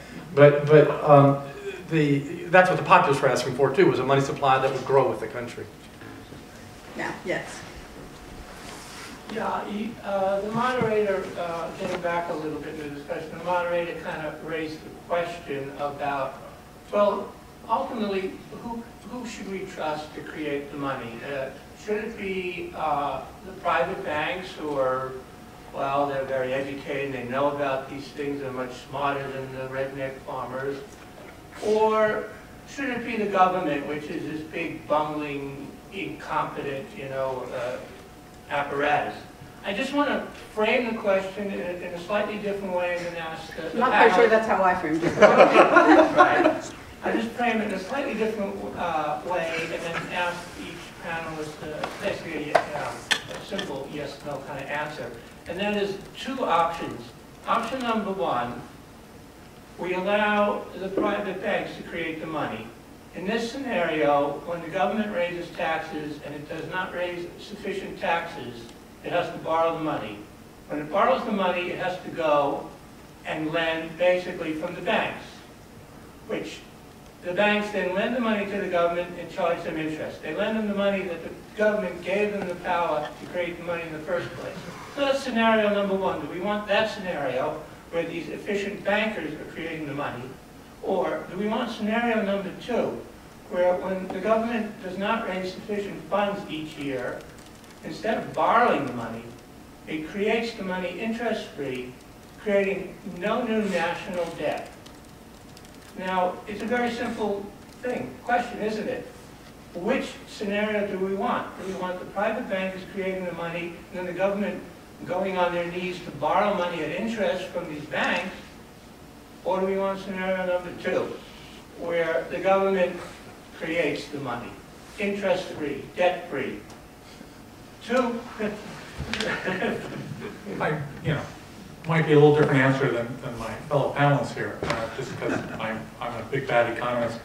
Um, we always think in terms of, of what's going to discipline people from uh, rent-seeking We, we need something, and, and there's rent seeking on, on both sides. You know, if you, if you have one private bank that is, it's the only bank, they're gonna use that power, monopoly power to manipulate markets and rip people off.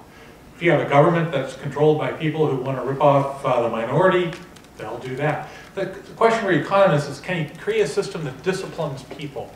And that's why you see a lot of economists harken back to, yeah, markets, if you have enough competitive markets, they're gonna discipline a private banking system. And economists really worry that banking system doesn't want a competitive market. They want a non-competitive market. So, so economists are just, ideally, if we could get a competitive banking market, solves the problem. We don't know how to get a competitive political market, but we know how to get a competitive banking market. But the question is, can we get there? And uh, there's real questions right now whether we're getting there. But that's how an economist would kind of think about think about the discipline aspect of it. Yeah. So again, just have another plug. We're going to talk about this in a little bit more detail in the next seminar, but I think the interaction between the Federal Reserve and the Treasury right now, I mean, the word borrowing and the word private and public, I think they're sort of largely simplistic sort of shapes that don't necessarily reflect the way that, for example, the, the Treasury right now sort of issues something that resembles, you know, an interest-bearing savings bond and it functions to a certain extent like money in, in very, very highly liquid markets, and it functions to a certain extent not like legal tender. And I think actually there is a provision for at least US bills that says that if they wanted to, they, the Treasury could at its discretion issue bills that could be uh, redeemed at payment of taxes at face value. Um, so, I mean, at that point, I wonder what the distinction between that and what Farley was talking about early on is. Um, but I, and I think also that, you know, when we're talking about paying interest, that's a, a really a monetary policy question, and that if you look at right now, the Fed's recent policy of paying interest on reserves, even if you're injecting money directly into the economy, you would still be paying interest to, to private uh, reserve account holders. And the real question there becomes not about the way that you create the money, because a dollar bill and a treasury bill are billed, uh, viewed on an accounting statement as a liability of the government. They're both debts to, uh, in a legal sense. It's a question of whether or not we want a positive interest rate on people's ability to hold money at the Federal Reserve, and I think there are actually people in previous events who've talked about a zero interest rate policy as a permanent way to reduce the rentier interest on, on liquidity, um, both from the state and from, and from private bankers. But I just wanted to clarify that. Great. Uh, sorry, I have one last question for you from the, from the internet, and I will promise I will never speak again.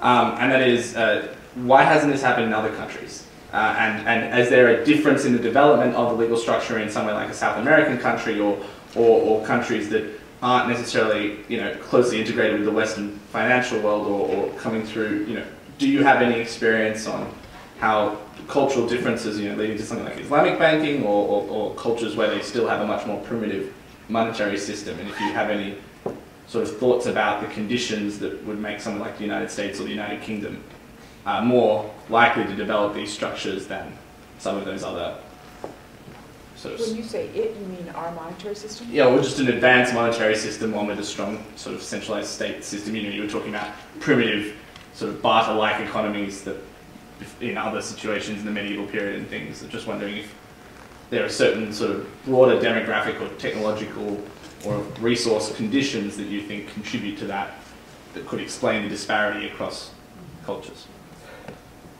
Um, I mean, the one thing that, that crossed line for me is, is small countries who decide we're just not going to engage in creating money, we'll simply dollarize or you know, euroize or something like that. In other words, adopt some other currency. I mean, Ecuador did this briefly, Argentina did it briefly. I mean, the thinking being that, that uh, monetary policy is, is such a mess, it's got us in a lot of trouble. Let's not, let's not do anything. Our money is just the dollar bill. And so we have to import it. And the problem a lot of these countries find, especially small countries, is their money supply then becomes highly volatile because it depends on import-export shocks. And a lot of them end up leaving that kind. So in other words, taking sovereignty back and creating your own money in part in response to trying to smooth out shocks that hit your small economy. Um, and I think, you know, so you have seen other systems like that, but, but they, tend, they, they tend to come back towards modern systems. Um, one of the other differences, at least 19th century and the 20th, to compare Canada to the US. Canada has a much more highly structured banking system, and we had a fragmented banking system, state banks, unit banks, millions and millions of banks, all very fragile, lots of bank failures. Go study Canada, no bank failures, you know, through crises, things like this. Canadian scholars love to point this out to us all the time. Um, there are other modern structures that look different, and it may be profitable to look at, for example, the Canadian system relative to the American banking system, uh, just to see long-run functions uh, of the two. So I just wanted to go to the question in, in an earlier age, as always with Farley, almost at an earlier age. And one of the most fascinating developments is the transition from commodity money, you know, silver and gold coin to bank issued money. And it happens in the 17th century. The Bank of England is the first um, significant bank of issue, first bank that's issue, really issuing paper. And, um, and that kind of breaks, that's the beginning of the break from medieval commodity money. And the, part of what's fascinating about that moment is there is a, there's a huge ideological shift, and it happens a little bit earlier than the Bank of England. And it happens at a moment when the English uh, start experimenting with public, with circulating public debt on the theory, they redefine, so interest, as you know, in the Middle Ages is a vice, right? It's a self-interest and self, it's part of self-profit is considered a vice.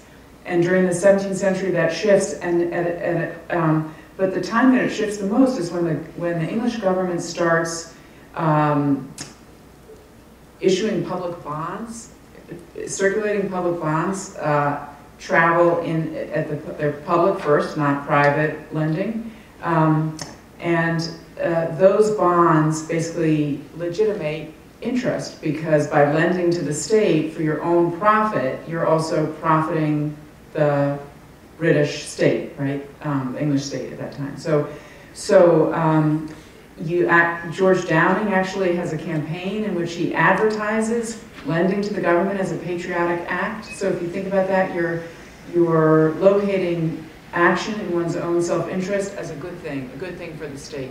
And it's at, and it's that ideological shift that they are that the English are working with when they established the Bank of England, which is a bank that will lend to the government for its own profit. So you get this, so it's a very particular moment where you see the beginning of Western banking and it correlates with the, I would say rehabilitation, but the legitimation for the first time of interest and action in one's own interest. So, um, so I think, you know, there are many different ways to set up as we've been talking about banking systems. And this was a moment which in, in sort of enlightenment thought lined up with, um, with a kind of incentive mechanism that put banking at the center of money making.